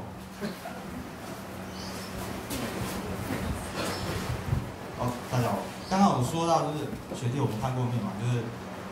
先分享我也是东海社会的过来人经验，在我大学不知道几年级的时候，也是用生污染这个议题，也是在讲臭气，也是有的学校的某个人丢出这个议题，然后叫学生去做，然后学生做一做做完之后，哎，有个报纸来了，然后就被我自己现在来看是一个割到尾啊。不过这个议题，这对于一个在刚刚有说到在东海大学读书的学生，毕竟是有四年的流动性，他是一个很容易被替代性的角色，所以对于这种行为，就是那个学生活动不可不避免会遇到这种状况，所以只是一个单纯的分享。然后第二个我就是要问问题，就问那个一样是一中的学弟，我也是一中毕业的，对。然后今天一直讲到一中，我们这边很多一中的。讲这个问题，就是先问你这个山海图读书会在在地议题的选择，我因为我实在不怎么清楚你对在地议题的选择到底是怎么样去做一个评断的。而且你又说了，你选择了很多很多的活动去办，好，比如说今天讲南屯，或者明天讲大雅，甚至是你刚刚写东市，但是有一些层次可能比较高的议题，举凡说刚刚说的工业区，然后或者是我是后里人，很私信的在说后里是全台湾。那个空气污染最多的地方，空气污染那个大药性指数最高的地方，前几年有很多议题嘛，东海社会的学生有去看过，有正隆纸厂，有丰兴铁工厂，有中科，中科三期那边，那是一个很污染很严重的地方。像这么大的一个一个议题，为什么是不是以后你们会去选择呢？然后接下来还有，其实问题还不少。你刚刚开始有讲到自己说你自觉这些议题你都很不懂，你已经离开这个这个原乡一阵子了，但是因为你现在是高大学生，你觉得你可以比。比起原本的高中生，你有给他更多的资源。嗯，老实说，以我曾经是大学生的心态，我觉得你比高中生或许只是多了得到资讯的管道，或者多到更多的时间。除此之外，你的资源比起高中生有多很多吗？不知道，我只是个提问啊。因为你一直说自己之前有说到自己很不懂，那如何说服来参加活动的高中生，还有其他一般社会民众呢？然后延伸下来的问题就是。你自己都在一个能力可能不是很充足的情况下，为什么你要安排现在去跟当地的呃高中生，就是台中的高中生们去做这样的活动呢？而不是你之后可能退伍之后，你应该还有当兵吧？应该你还会遇到一帮当兵这个议题，应该你还会遇到回到原乡来找工作这个议题，为什么不是安排在之后呢？然后我有想到，就是如果我是你要怎么做？我只是一个分享。如果我是你的话，我是不是会做别的事情来让自己的能力更为精进呢？为什么要这样讲？是因为如果你自己的活动哦没有很大的力道，比如说刚刚有人抓到一个臭气，抓到一个中间的议题，你没有力道去延续你的一个社会议题的一个，你主要是让大家有一个脉络的思考嘛。我看到问题，我发现问题，我解决问题，这是让大家有一个独立思考的机会。我听的题材也是让希望让高中生有这样的能力。但是如果你没有一个很实际的 issue 让你去做一个 solution，有一个过程去让他去做解决的话，我不知道这个。大家要怎么去从里面去学习？因为都是很空泛的、很很很空洞的一些东西。然后最重要的是，高中生的变动性太大了。你大学生四年在这里就会走，可是高中生搞不好之后他去读博士，他去读硕士，你自己又一中高学历的，你都离开中部地区了，说不定你又读硕士班。我相信应该你这样讲，可能八年、九年之后才会回到台中来。变动性再大了，为什么你要选择高中生这个社群呢？何不？我又提出一些解决方案，何不你现在就是当地，比如说，呃某某某某某某工厂可能被恶意倒薪、恶意欠薪，他们不知道如何组织社会运动，你是不是可以用这个角度去帮助在地的厂商、弱势族群去协助他们？因为好，就讲农民比较简单，农民搞不好都六七十岁、五六十岁，他们对于解组织很难。可是你你有这样的经验，你有这样的资源，你有这样的想法，你有这样的时间去帮助他们去做。那为什么要寻找很没有投报率的高中生呢？没有，我我不是要讽刺这个，我不是要讽刺这个，哎，我也是高中生，我只是很很，如果你要花时间去做这件事情的话，另外我要再回过头来讲说，你刚刚讲到的你的一中生涯，我觉得我的一中生涯怎么跟你一中生涯有一些些些许的出入呢？因为其实，因为你说你很多时间在报公价的社团，我真的是一中的，我骗你，我们也是在一个报公价上，我们是国乐社的，但是我我是读社会组的，我的同学每天就是在讲政治。当初是民进党选举，我们还因为吵架，那个时候还有骑养护骑摩的家族的代，每天那个年代大家吵完之后，隔天拿来上课读书，但是不代表我们不关心社会议题，不代表我们不会花时间在我们四周四周围的人事物。或许高中生是有做这种事情的，但是你因为你的知识水准可能比较高，或者是你用你过去的经验来看上的高中生们，所以你觉得他们没有做这样的准备。会不会有这样的谬论呢？我一切都是提出分享，跟也不知道赞啊。就我们这这就是我们生命历程不一样啊。但是你很碰巧就跟我遇到一样的，曾经有一样的三年嘛。最后我还是回来一中间，因为我可能也丢过乐色，所以我实在不知道怎么改变。好，谢谢。好，谢谢。陈宇，那个。问题你有记起来吗？有哈。好，那你要直接回答。好。是呃，其实我觉得这些问题都是。过去这几年，应该说这两年多来，就上海读书会一直在面对的问题。就是我我觉得这个东西我们不是没有问、没有想过。然后的确就是这些东西，或者说我刚刚的这个分享，它其实就是我刚刚讲的这样一套东西。但是其实说说实在来讲，就是另外一套东西是哦，我我们没有我没有讲的是我们到底是检讨哪些部分。然后因为这些检讨实在是没有经过呃，就是大家的一个。呃，就是集体讨论过，所以我也就在这个过程中省去不讲。我讲的是一个比较公开的，就是大家都做过的事情，大家都想过的事情这样一个东西。然后，呃，我觉得第一个是上一轮的议题选择这样一个问题，就是为什么我们过去会选择这些东西？其实基本上，我觉得不管是在讲就是我自己的一中生涯，还是讲上海屯读书会的这个呃这个组织的生涯来讲，我觉得都必须从就是为这这一群人到底是怎么样。去办这个活动，就是在当初看大家在发想说怎么办这个活动的时候，这群人是什么样的状态来分来分享？就是过去我们这一群人，就是那个时候我大一，然后我的几个比较要好的朋友也大一，然后或许就是有一些朋友可能就是呃年纪比较长了，所以呃可能他们已经就是大三大四可能要毕业，所以那个时候，但是大家都没有碰过说，哎，到底要怎么样去办这个活动？我们是。就是我们一开始绝对是没有想的很周全，说我们要去选择哪一些议题，我们比较像是说我们很单纯的想要去办一些活动，然后让高中生参加，就是这个想法是很单纯的。然后，所以我们就去选择了几个，就是呃我们在媒体上搜寻得到的议题，然后或者说就是我们有人去认识的议题，就是呃就是类似像这样的东西，所以才去选择了。但是经过了一些不同的。就是到了现在，我觉得，因为像是像泽武这样子的一个社群，或者说我们去认识了其他的，就是议题发生地的呃一些人之后，我们才去知道说，呃，就是台中还有其他的议题，都需要被就是去探讨这样子。我觉得这个东西变成，我觉得上海屯读书会的定位，我一并用第二题来回答，就是你的第二个问题是说，哎，高大的大学生的资源真的有比高中生多吗？我觉得当然是没有。没有差很多。我自己在大学的时代，就是我自己至少在大二、大一、大二的时候，我参与的是激进笔记、清大的激进笔记，然后我当过社长。然后我自己去参参与过的事情，其实有很多都不在台中。我确实是没有比台中的，就是很多人都知，就是真的知道多一点事情。但是我觉得，不管是你你说资讯管道比较多是没有错，但是可能也不止这样子。我觉得最大的差异在于说一个。年龄的亲近性这个东西，就是你过了一定年纪之后，你很你可能就很难再去接近这些高中生。就是就是过了一定年龄之后，你要回来就是碰触这些高中生，你需要认识他们，然后你要有想你要有管道去认识他们，或者说你要呃博取他们的信任。这这些事情，在我们那个在我们那个时候设想来看的话，是有一点困难。当然，对我自己来讲，我觉得这个东西并没有那么困难。就是到我现在，我自己觉得并没有那么困难。我只能说我自己觉得，可能这是这是需要练习的，因为的确就是到了大学之后，你去接触了很多就是大学生，然后接触了很多不同的人之后，你的想法、你使用就是语言的方式会不太一样。然后就是你可能也不知道说怎么样去带一个讨论。就是大学生可能真的没有比较多的资源，但是我觉得这个东西经过练习之后，的确是可以达到一些改变。所以我会觉得说，呃，回就是直接就是回答说，就到底有多什么？我觉得多的就是在于说，可能有一些亲近性，然后，哎，他们对于就是高中生怎么想这件事情，可能有就是还没有忘记太多啦。我觉得这件事情可能是真的有比较多一些，然后再是怎么实践的问题，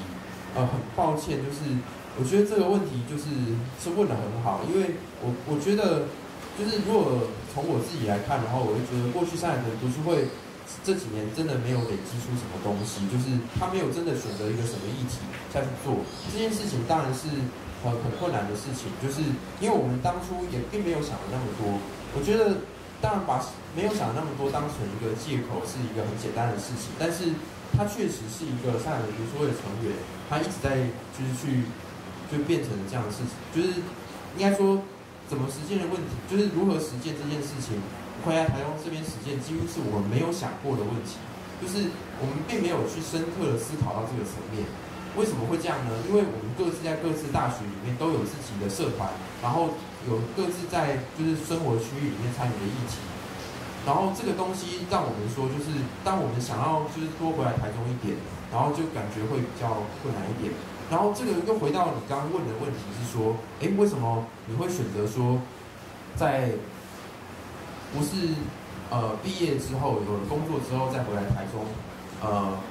就是来做这样一个所谓高中生的这样子的一个给予资源的事情？那我会觉得说，就是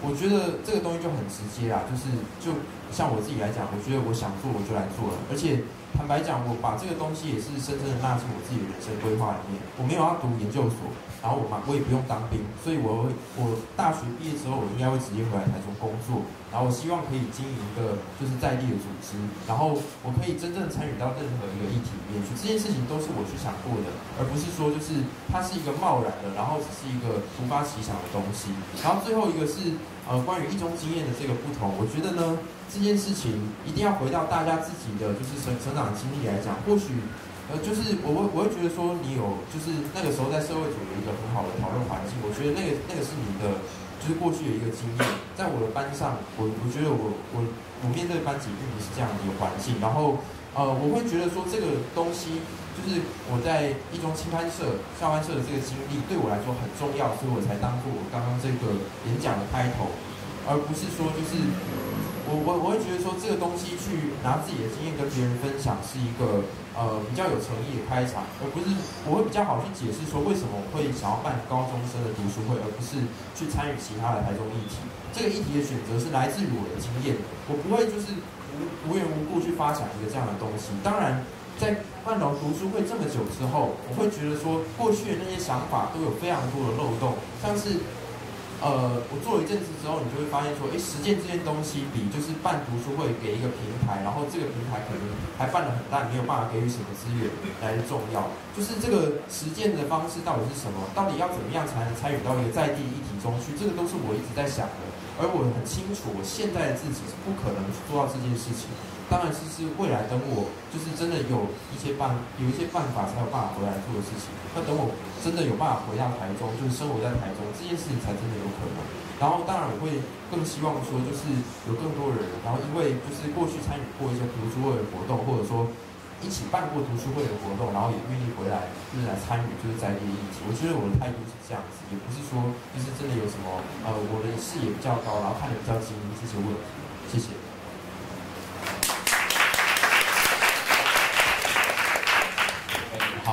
那个现在大家非常踊跃哈，可是我我我要我要讲一下，就是因为刚才那个问题其实就无差别攻击到我身上了，因为我也是赛豚成员的成员嘛，所以我也是在讲一些话，就是说，在我们带赛豚成员，以我的例子来讲，我是很幸运是在参加这个团体的时候已经即将要毕业，所以就很就退呃就去马祖当兵，然后没办法参加太多，然后就回来工作，就很顺利的就是以工作的身份加入到这个团体的运作。那这是我自己的际遇跟时间上刚好那个那个机运点。那所以我觉得每个人的状态都不太一样。可是我们想要来做这个团体，最主要的原因是说，我们的怪，我们是有个基本的概念啊，是说共学。我们从来不会觉得说我们很厉害，我们教了很多东西要给这些高中生，是一个以上到下传输知识或者是技巧的一个一个一个身份跟跟位置，而是我们回来高呃回来台中之后，我们一起认识台中这个地方。那可是为什么我们要带高中生？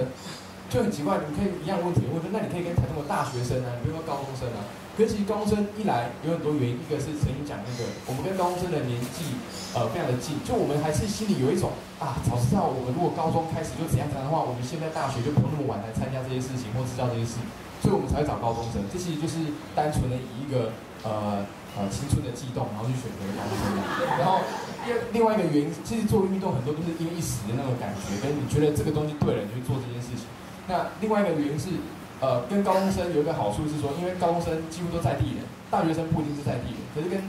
呃，我们要挑出大学生中的在地人也很困难。都第一个就问说，你是不是在就台中？不是。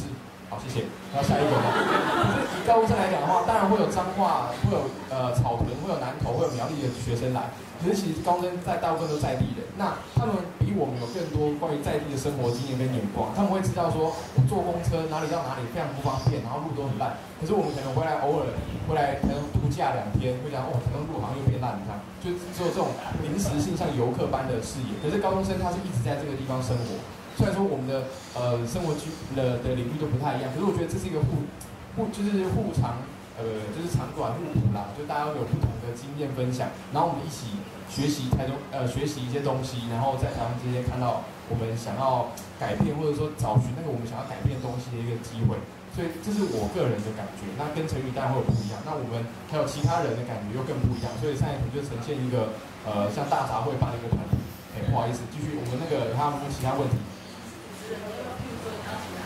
没关系，我就先看有谁嘛，钟离先好。那个我我想要稍微回应一下，就是说，呃，因为我们今天是看见行动新时代，然后我想说以看见行动的一个前中年时代来讲这段话，好，就是说，因为刚呃主持人有呃问到，比如说上海可能说呃两个问题，然后我觉得其实刚好回应到哲武的部分，然后另外我觉得呃作为呃看到我们在场有不同高中生、大学生哈，在推动一些行动上面的可能的时候。我觉得我都是带着一种，呃，很对待同志的那种温柔的这种态度来看待他们所有的行动哈。那呃，其实刚一开始讲说，哎，那比如说台中也有也有折舞啊，那那这样子上海读书会到底有什么样的区隔？那我觉得说从折舞的角度来看，我觉得刚好很好，就是说，呃，折舞它提供了这样一个舞台。那这个舞台呢？它其实，呃，你看我们今天在场这么多群众，是有高中生、有大学生、有一般在上班族的朋友，呃，不同世代的朋友都聚集在这边。它就是一个很一个我们台中公民社会的一个缩影在这边的。那所以说，其实这边的的朋友他来当呃，比如说高中的同学来到这边，他看见行动新时代的可能时候，他也许他就折舞，他只是一个短短暂的舞台，他可以去到来到山海屯的读书会。他也许对于东海人间工作坊有兴趣，他说不定还去参加了社课，好，那所以他们就是可以到不同的 NGO 或者是说不同的社团里面，可以去运动、去运作，所以是这个就我觉得就是折舞发挥的功能，所以我觉得反而跟这个上海就是说就有了这个基本的区隔就出来了。然后第二个呢，我觉得说，因为你有一个问题问到说。呃，那赛尔文读书会带来了什么改变？呃，对，那其实我我觉得对于改变这件事情呢，其实我就是说，刚好回应刚刚那个东海的同学啊，作为一个呃，我也是东海毕业的学生，然后我就觉得说，呃，我们我们在看一些改变的可能的时候呢，就是说，呃，我相信今天所有的团队在投入行动的时候，就已经可能造成一些改变，可是改变是微小的。那当我们在关心周遭生活的一些公共议题、生活上的政治的时候，其实多多多少少已经带来一些改变。这改变很小，有有了一些我们个人自己在呃个人历程上、生命经验上的改变，有一些可能会放大到整个社区、整个社会的改变。那我觉得回到社区的一个脉络来讲，就是我们对于社区的想象是说，呃，你对于社区，其实社区最大一个基本意义就是说，我们在这个，比如说在折舞的这个场域里面，我们就已经形成了一个社区。每一个人其实对于折舞可能有一种投射，或者有嗯有有一种基本的认同，所以来到这个场合。那来到这个场合的时候，其实就造成了一些改变。可能你过去没有参与过这个，第一次来这我举手。好，请放下。基基本上将近一半的人第一次来折舞，那所以说我们可能造成了一些改，可是改变会变成什么样，我不知道。所以我也相信说三海屯读书会，它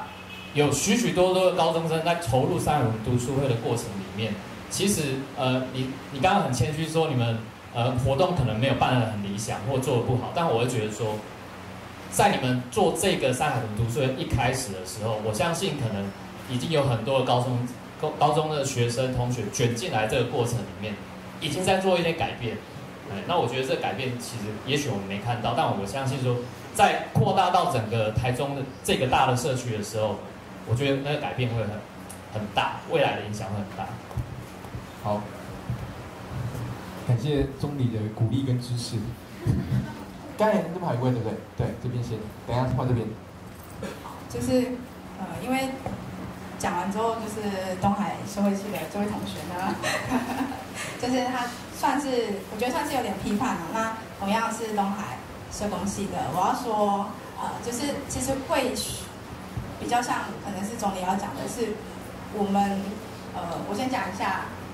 因为他以前在社社会系的时候，可能也是做很多运动的发起人，然后或者是他他在看这些运动的时候，他会有一点。就是想要跟你们说，哎呀，要怎么做比较好啊？所以他有点激动这样。呃，可是同样其实是同样的观点，我想是呃，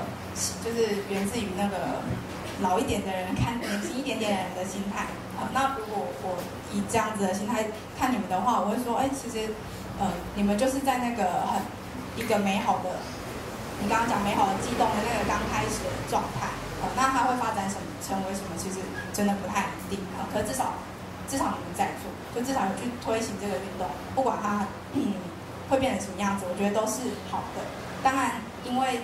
可能在我觉得在讲上海豚的时候，没有讲得很清楚你们具体做了什么，所以我们会有很多疑问，然后就会有很多想法，然后就变得你们就会变得比较好攻击这样。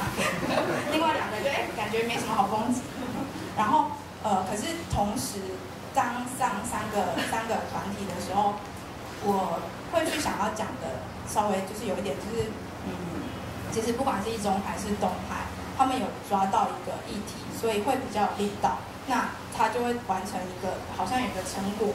就算他只是拆掉一个生生产线，他也看起来像是一个成果。那因为山海豚是一个比较不知道成果在哪里，或者是你们其实也没有很确定你们心里面的部分，你们也还在追寻，所以我们在看这样的一个山海豚的时候，我们。也会有很多疑问，那可是这个时候我想要讲另外一个，可能跟今天没有很相关，可是他是我，我是台中在地人，就是也在这里念大学，就一直离不开这个城市，也在这里工作，然后所以我每天在台中就是骑摩托车来来来去去这样，那我就会以我一个在台中就是台台中丽娜的的，然后我就是好可可能我我们在讲社会改变，那我骑摩托车过程中其实难免总是会到草。就是呃，草悟道啊，然后可是那里附近，我不知道你们最近有没有去逛，然后看到一个，就是它是一刚开始，它都会写范特西，范特西什么，有听过吗？好，它其实它是一个很商业的模式，可是它是从他自己家里的房子要卖掉，卖不出去，然后在那个草悟道旁边的巷子里面，为什么卖不出去这么好的地段，他开始去发想，然后去做一些改变，那他已经慢慢。可能他有钱，所以他去做这个做做这样的事情，他就集合很多小的小的小的个体，然后去弄一个比较大一点的，呃，甚至像一条街。现在呃比较新的是在中，可能对，然后那那条我还蛮漂亮的。我觉得他从一刚开始做的有点市侩，到现在其实那个想法跟理念慢慢在改进。那他们其实也在做一个行动，他们也在做一个改变。虽然是商业，可是。那再回到讲到这个，就是我觉得那是力道的问题，就是还有抓到一个可以去做的事情。为什么市政府比较愿意？可能当然因为他们很努力，比较愿意接见他们。因为改善一中街的美环境美化是一个比较有力道的事情，相较于叫工业区不要排放废气，它也是一个比较有力道的事情。好，那其实可以从这个方面去改善，就是去去多想一点，然后。关于，可是我，呃，把比较好的讲完之后，我还是要有一点点一点点批判哦。好，就是我我会去想的部分是，因为我刚刚在看你的投影片，呃，七号到十一号嘛，嗯，你看有主办单位是你们，然后有一个呃合办单位，嗯，我想那个应该是经费的来源，好，那可是我我就会很直接要说，哎，可是你们也还是有收费。在这个盈利的部分，好，假设我今天是一个高中生，其实一千五对我来说并不是一个小数目。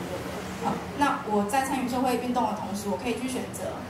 去儿童之家做志工，我也可以选择把学校作业好好做好。其实这都是很有力道的。可是有时候看着这 PowerPoint，呃，我要我是否要付出那一千五？这是第一个。然后再来是，哎，为什么我我可能还有别的事情可以做，也是一样很有力道的。那如何在我觉得营运很不容易，就是因为不可能让他们来玩，就一毛钱不花，就是就是让他们吃吃土啊之类也，不可能。那这个怎么去争取一个平衡？我觉得这是之后要做的。顺便讲一下，我觉得泽武也很厉害。其实，呃，在这个运作过程中，其实经费一定是有花钱的，可是他对小我们是没有没有索取费用的。那他去，他是经过思考之后才去把它取得一个平衡点。那这个是之后可以去想。好，谢谢。哎，有要回答的吗？针对这些？没有问题。好，那我们刚才这边还有位朋友，对不对？这边。我很感谢大家，每一个都很对大家很好了，就是有一个正向的回应，这样，就是一个善的力量，然后越卷越大。接下来有那个。呃，基本上也是对山海豚有一些建议啊。然后，因为因为他其实他，我觉得他讲很好，因为两个都是呃议题很明确，而且从头到尾的时间点的叙述到最后结束，其实都很明确。可是这边比较没有明确，所以大概就是一些算建议啦，对不对？因为我其实我带活动，我从高中一直带，带了七八年，盈利非盈利，有钱没钱的各种形式的活动我都带过。那所以。其实我后来的反思是说，其实我们在做的这些活动，是，呃，我们认为我们的参与者真的想要的，还是我们想要他来的？这样，这很就是他的动机是在哪里？是真的他需要吗？还是我们认为他需要？还是只是我们想办？因为我以前有办过活动，就是盈利的嘛，盈利就是就是他想要他来啊，然后用各种名目去包装，他就他就来了，这样耶，就赚到钱这样。所以其实你们要更去思考的是说，这个东西是他们需要的吗？所以在选题的过程中，你们在选不管是社会议题还是了解台中这个地方的话，你们多去思考他们到底需不需要，又或者是就像他们说的，说他高中参加完这活动，然后大学就离开台中，然后再也不会回来，所以他们就可能就不需要这样。然后呃，再来是说，呃，对于高中生来说。他们的可能大家对他们了解，还是他们必须要专心于课业，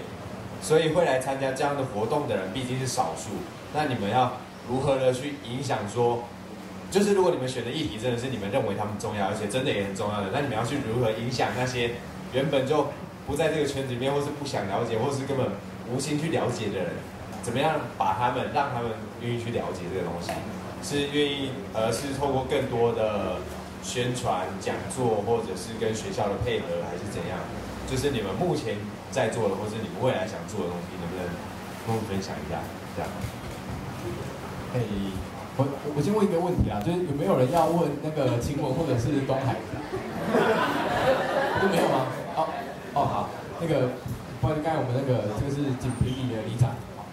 不好意思哈，我我我其实我已经做很久，听很久，所以本来是想要。哎，悄悄的离开就好了。那因为我听到了他谈一中商圈，一进来就听到了。我正好是三明路的三明路的两边啊，一中是一个是一中商圈，一个是中友商圈了哈。OK，一中商圈的你去找的是是陈里长了哈。我刚好是就是台中科大那里的里长，所以所以我姓尤哈。然后我自己也在台中科大教书了哈。我我去年看到你们这个活动。在什么地方看到你知道吗？在我儿子的电脑上的桌面。然后我儿子也没有跟我谈什么，因为我儿子是高二生的哈。我我我我我就把它点开看了一下，看一些问题。我发现到，就我很感动这些年轻人对对社区的关心。不过我要讲的是，你在对的地方找到错的人，所以你的答案是错的。为什么这样子讲呢？因为那里的里长跟那个上线的主委都是同一个人。我可以这样跟你讲，就是包括连土地公公都是同一个人了哈。所以他们祖父从爸爸到现在已经当了四十年，他不会想要很大的改变啊。所以他，所以他会跟你讲，你问的第一，你问的东西是要去找市找找市政府的，OK？一本市府的人接见过你，其实他们也是也是在糊弄你。大概没有一个人可以比我感受更更深的。一中商圈我们要解决的第一个问题，它不是不可以改变，它可以改变。一中商圈，一中商圈，你知道三民路这一条路啊，二十五米道路，一天总共一千一百六十八班次的公车经过这里，所以这是一个条路是运输量最大的。这是一个要需要改变的地方。一一中商圈的腹地太小，我在我们自己在我们市政府或者是区公所开会的时候常常提，这里会出大问题。有一天胡志强会为这个付出很大的代价。就你看那个巷子里面挤成那个样子，人挤人，然后当发生火灾的时候应该怎么应该怎么办？我知道，其实我在在我们区会都都提过。最后他们丢出一个东西，我看了吓一跳，丢出说有里长要求加强取缔机车。违规违停了哈！一中上去最大的问题是违停嘛，机车的违停。你们那次活动造成一个很大的效果是什么？你知道吗？一中一中街有人跑来找我啊，店家说：“尤里长，你可不可以帮我们处理？”我说：“什么？”他说：“你知道吗？最近最近有一群学生发起一个活动，然后不知道为什么哈，都花局的人说要来拆我们这些摊贩，因为你知道我们台湾人一个非常糟的。”的方式就是喜欢把，如果他在这边店家里面做生意的，在七楼下做生意，然后又延伸出去外面的的白线的地方，对不对？所以，所以，所以，所以阻碍了这样子的交通。一中商圈真的有太多东西需要改，需要改变的。其实我们曾经想过说，把那一条哦，要求政府把那一条弄成弄成这个人行步道。可是你要知道法法规规定，就一条人行步道弄错，你就要必须再找一条替代道路，所以显然无解。这是十几年前张文英当市长的时候，我们就谈过这个问题啊，跟他们讨论过。我我我我对中商圈有一个另外一个看法，就是说你你的问题其实发掘的都都很好，而且我们这有一中人很很多。我前几天才进去跟跟那个一中联国老师陈信信老师谈过话，一中水利基金的叶经理老师谈过话。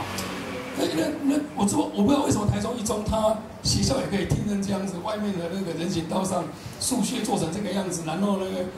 然后隆起啦、破坏啦，哈，就这样子。然后路面，然后上次你，上次你说的那个，你你你们真的不错，你们有关注到他的那个、那个、那个马路的设计啊。当时有有人跌倒，我记得有一个女，有一个女生三十几岁跌倒了以后，整个都是伤。然后警察跟他讲说，你可能还要赔人家，因为那个那个扭着西护栏坐着还没有坏掉。他婆婆跟我讲，我跟他说，你叫他来找我，我我帮他争争这一口气。后来跟。跟市政府要了赔了九万多，他本来还很怕，你知道吗？我们的政府是用这样子的，那在面对，在在处理这样子的。而你讲的，你见到的那些官员，我都见过。我我要求他们，其实我要求一中商圈，我们觉得我们应该有你们的力量的推动，其实是有机会的。我们甚至我们提了很多案，其实都是被搁置下来。一中商圈的机车怎么解决？我们是不是应该要找几块公有土地？因为那个那个地很贵。来盖地下的停车场或地上停车场来收纳那些机车，就在这就在这两个社区之间嘛哈。我跟市我跟市市政府谈了，强烈的要求他在育才北路跟一中街交叉口那里有个停车场，那是儿童公园西部用地。我要求他要做的时候，地下这实际不是我的理，你知道吗？我要我要求他地下要挖地下三层楼，就是收纳机车，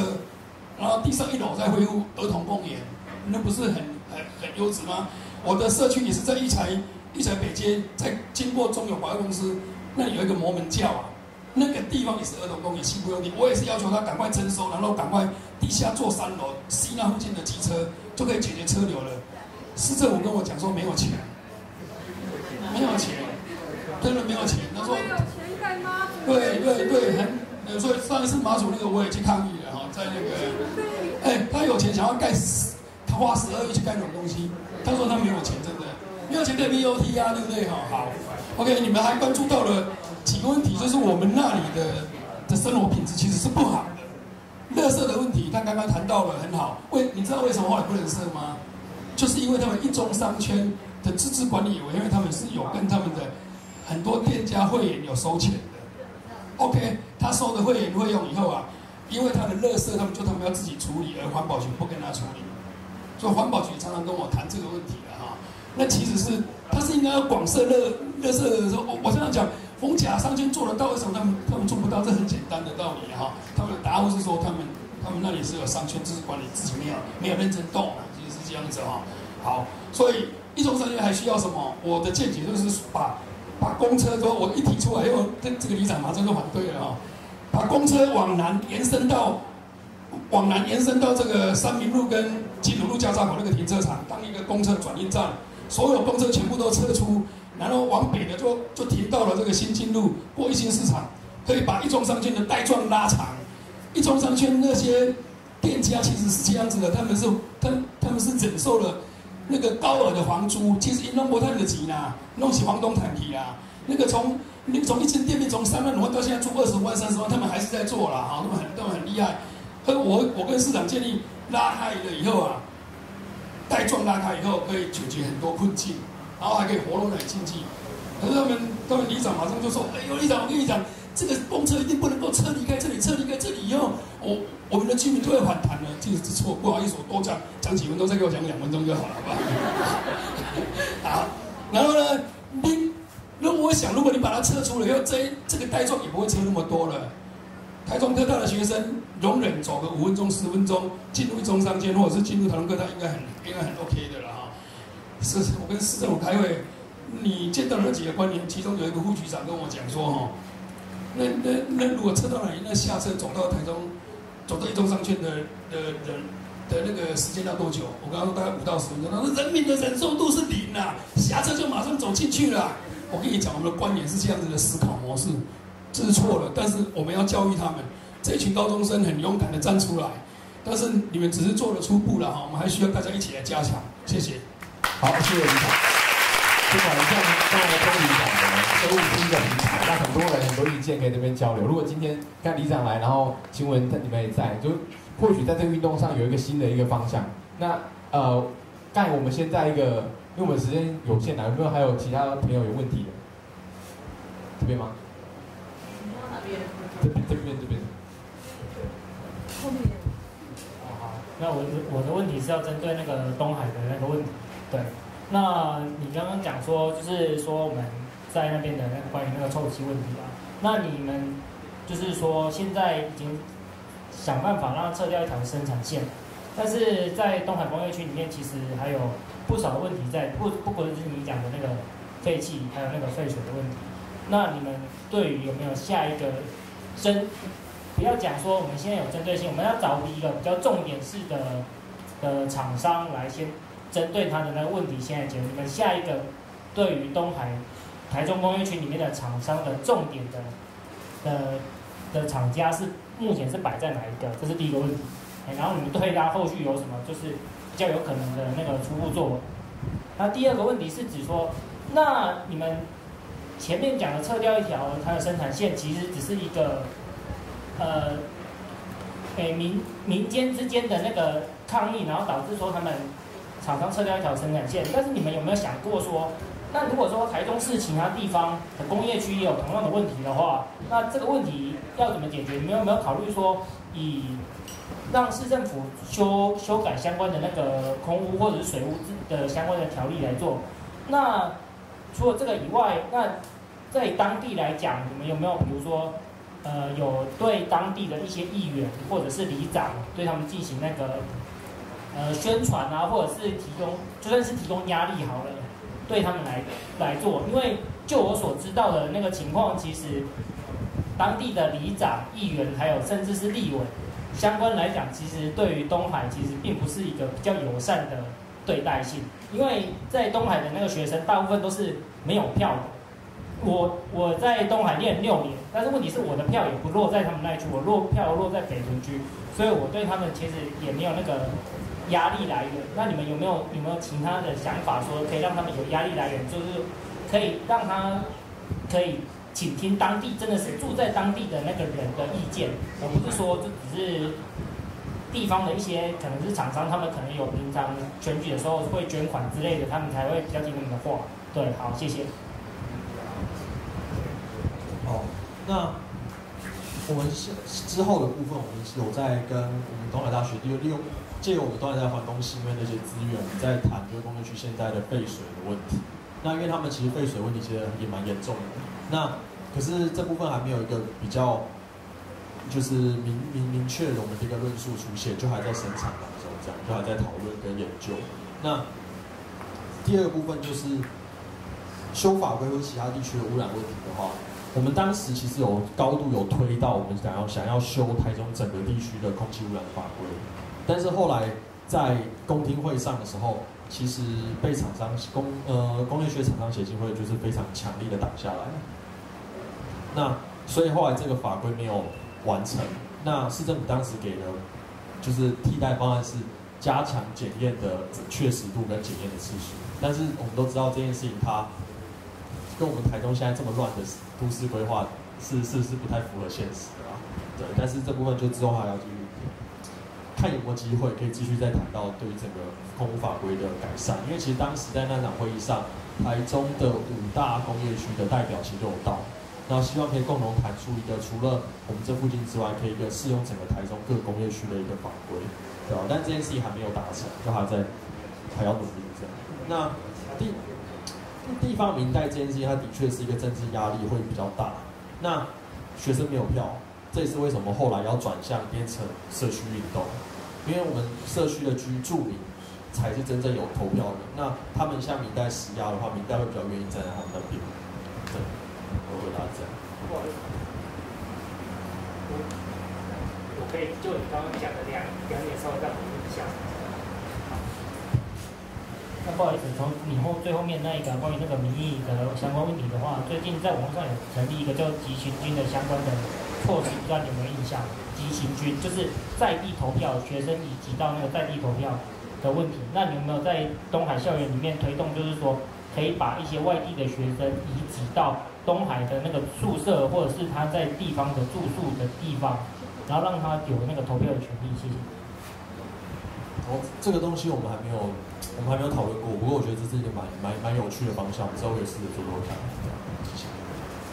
哎，好，不好意思哦，因为我们时间的关系，我们要恪恪守这个游戏规则。我们最后一个朋友，请后面那边。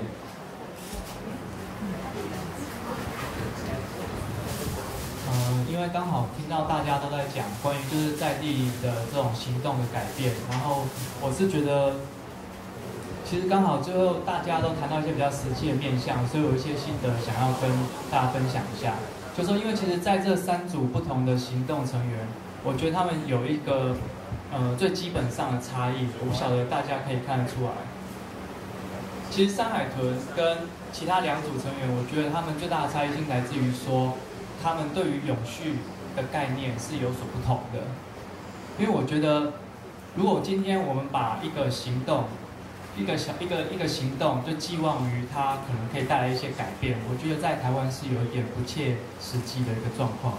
因为其实像很多的改变，就像刚刚包含像旅长的发言，或者是包含像是呃东海的一些成员的发言，就会发现到说，其实这些改变它要如何被延续下去是很重要的。我们今天可能有一个开好的开始，可是如果我们把希望放在更长远的未来，我们要怎么做？我觉得这个是在组织的概念上是会有所关键性的不同。如果今天我们一直期待的事情是，呃，四年来在东海的学生他们会一直延续下去，然后再换下一批四年来的学生，然后再继续延续下去，我觉得这也是有很大的难度。所以我觉得看到我最看到最大的不同点是来自于说，如果今天山海豚它本身是想要在毕业后就常驻于这边，然后再思考一个比较永续可以长久经营下去的方式，我觉得这个是呃，我认为它也是一种不同的行动方式，这是我一点小小的感想，谢谢。好，那因为我原本应该是要结束的了哈，然后陈宇他说，因为他刚才有被无差别攻击嘛，所以他还要再做一些含扣这样。刚好像有人在问那个问题，就是说，哎，那个办活动办给谁的问题？我觉得这个问题问的非常好。就是其实我觉得，呃，你办一个活动，尤其是这种你你是一个非盈利的活动，而且它是一个呃，它其实是呃，你有一个价值的目的在的一种活动的时候，你其实是要去思考说，你到底是希望他们跟你变得一样吗？还是其实是你要怎么样才能够就是只是启发他们的思考，然后然后让他们有自己的想法，而不是就是把一套想法灌到灌输到他们身上去。那个东西是你需要需要有一些就是方法去去做。我觉得这个东西不一样的地方，就是需要去努力的地方是在于说，就是哎，你到底办这个活动本身是不是呃有呃对于你的来参加活动的这些高中生这些这些人是够了解的，就是到到底了不了解说他对于社会运动到底对于呃地方议题，他本身原先是抱持着什么样的态度？我觉得这个事情是很重要的，就是不是说我办一个活动，然后你来这边听演讲，听完就结束了。我会我会觉得说这个这件事情是很不好的，因为你如果只是单方面去接收资讯，那当然会有造成一些东西，就是换如果用比较社会学的方法来讲的话，就是它会造成一些就是文化上的霸权，然后你会只是希望说他接受到你的想法等等这些问题，那。关于就是，然后我我觉得我最后应该要去讲一下，就是我们那个活动，因为刚刚其实，因为我们这个活动就是，诶，只有去贴说就是这个，因为它只是一个文宣，然后没有没有详细的东西，所以会帮忙看一下啊，我就大概讲一下我们这个活动，因为就是如如果是详细的话，就是我们理论上会有更更详细的那个文字简介，但这边没有。然后，呃，当然传单上也没有，这只是一个就吸引大家来看的东西。就是我们会，我们这个活动基本上是希望说，呃，然后找招师招一些高中生来，然后我们在这个过这个活动中，总共五天的时间里面，呃，办的活动是，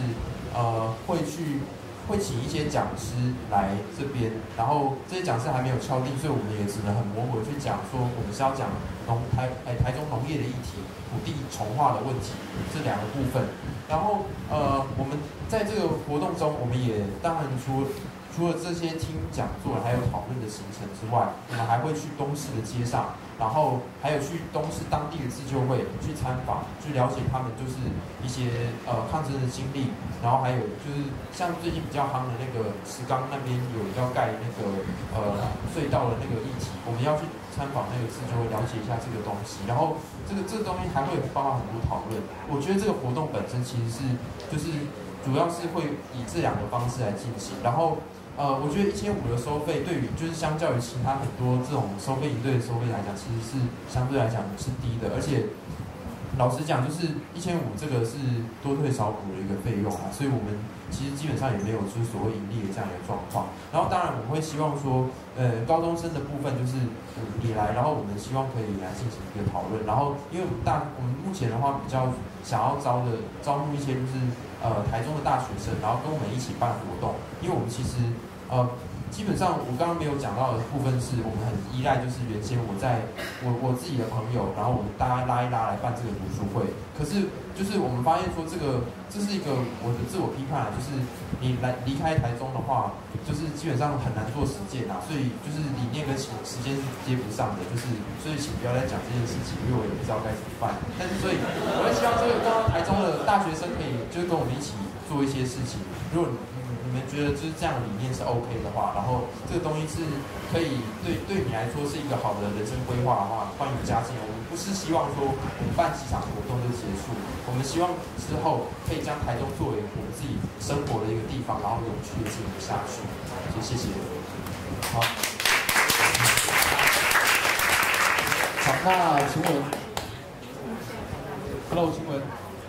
请问有要最后有要跟大家再讲一些什么吗？总结吗？哦，所以你知道接下来是主持人接棒的。有很多在大家那么多回应嘛，你有没有什么感觉，或者是你有什么想讲的？有有有，就是我觉得大家就很谢谢大家对我们的支持和就是这么的照顾，对，就是因为我只是个高中生，然后我觉得改变当然并不容易，所以我们要渐进的、慢慢的去实施，因为大家都知道不可能一步登天这种事情嘛，所以我们要慢慢的来，然后就先从最开始的就是呃人身安全，就是我们希望可以就是封街的。在于就是可以照顾好大家人身安全，因为这这直接关系到你我。然后接着，如果人身安全顾虑到了，那是我们可以来再考虑到它的环境，然后接着进一步美化它这样。虽然这构想非常简单，可是我知道，就是刚刚李长有说过，它实施过程是非常困难。对，谢谢大家。好。那熬过总结了，不然时间超过，高中生回去会被骂。那我其实今天哈有一个呃，是除了从那个高中生的那种青春的悸动啊，然后到大学生的愤怒，还有回乡游子的一个迷惘，这些东西呢，其实就在今天的座谈中，大家可以看得到人生不同阶段的时候会面临到的一些想法。那当然每个人的状况不太一样嘛，今天三个就是一个呃 example，让大家做个参考。那那其实哈，我我觉得在最后提出的东西就是说，今天好像是看来说年轻人，其实对于中年人或老年人非常的不公平。因为一个新时代，它所代表可能不是年轻人新生命，它可能代表是一个时间点之后的一个群体，他们开始在关心社会。譬如说哪一天，哎，七八十岁的老人、老年人他站出来，他们要开始就是叫政府要改变长照制度啊，说为什么让我以后老年谁要谁要来照顾我，或者说他推多元成家，说我跟我的好朋友一起成为一个家庭，为什么不行？或许这样子的时间点之后，那个所谓的新时代，可能是青年时代、中年时代、老年时代，我们都一起可以为这个社会做出一点我们觉得哪里应该改变，或者觉得不公平的事情。所以我觉得今天都是一个大家互相嘛，就是大家听完这边感觉之后，希望大家可以获得一点点的勇气，觉得说啊，上海图做那么烂也可以持续下去。那我们就是没有好怕的，我们就一起出发吧。好，今天就到这边。那这边等下这边结束不是结束，是下一个阶段。这边结束之后，我们要破除这个座谈会的网络。这个模式，这个面对面的模式哈，接下来结束之后呢，就是等到大家自由搏击的时间，这个捉对厮杀有没有？大家有意见啊，想要试一下讨论的都可以。好，今天非常感谢大家今天来这边收听，呃，不是不是收听啊，不收听啊，不好意思，当 DJ 当当酒会这样，感谢大家今天来参加今天的活动，希望大家在这一次的这个座谈都会有所收获，有所成有所成长，有所行动。谢谢大家。好，我们谢谢那个。今天很辛苦的主持人哦，嘉勋呢，然后还有我们谢谢这三三位同学哦，那他们各自代表三个不同的团队，再谢谢他们一次。好，那一样我们照例要稍微做一下下礼拜折舞的预告哈。那我们下礼拜折舞呢，要呃要来跟我们语谈是有个叫云城的作家，那他要谈什么？占领与流亡，深思台湾地位与未来。我们知道哈，今天有看到一个那个中国时报有一个。报道说什么最新的民调说百分之八十的台湾人认同自己是中华啊中华民族中国人这样，好，所以我们来下礼拜来谈一下，哎，刚刚好切合这个议题，我们下礼拜的议题，今天中国时报已经帮我们写好了哈，就是我们下礼拜来深思台湾的地位与未来这样，好，好，那谢谢大家，那呃大家哈那个因为我知道很多同学你要记得回去的时候，那因为要保留自己的车钱啊，那如果其他剩下铜板就可以丢到这里，好，那就这样，好，谢谢大家。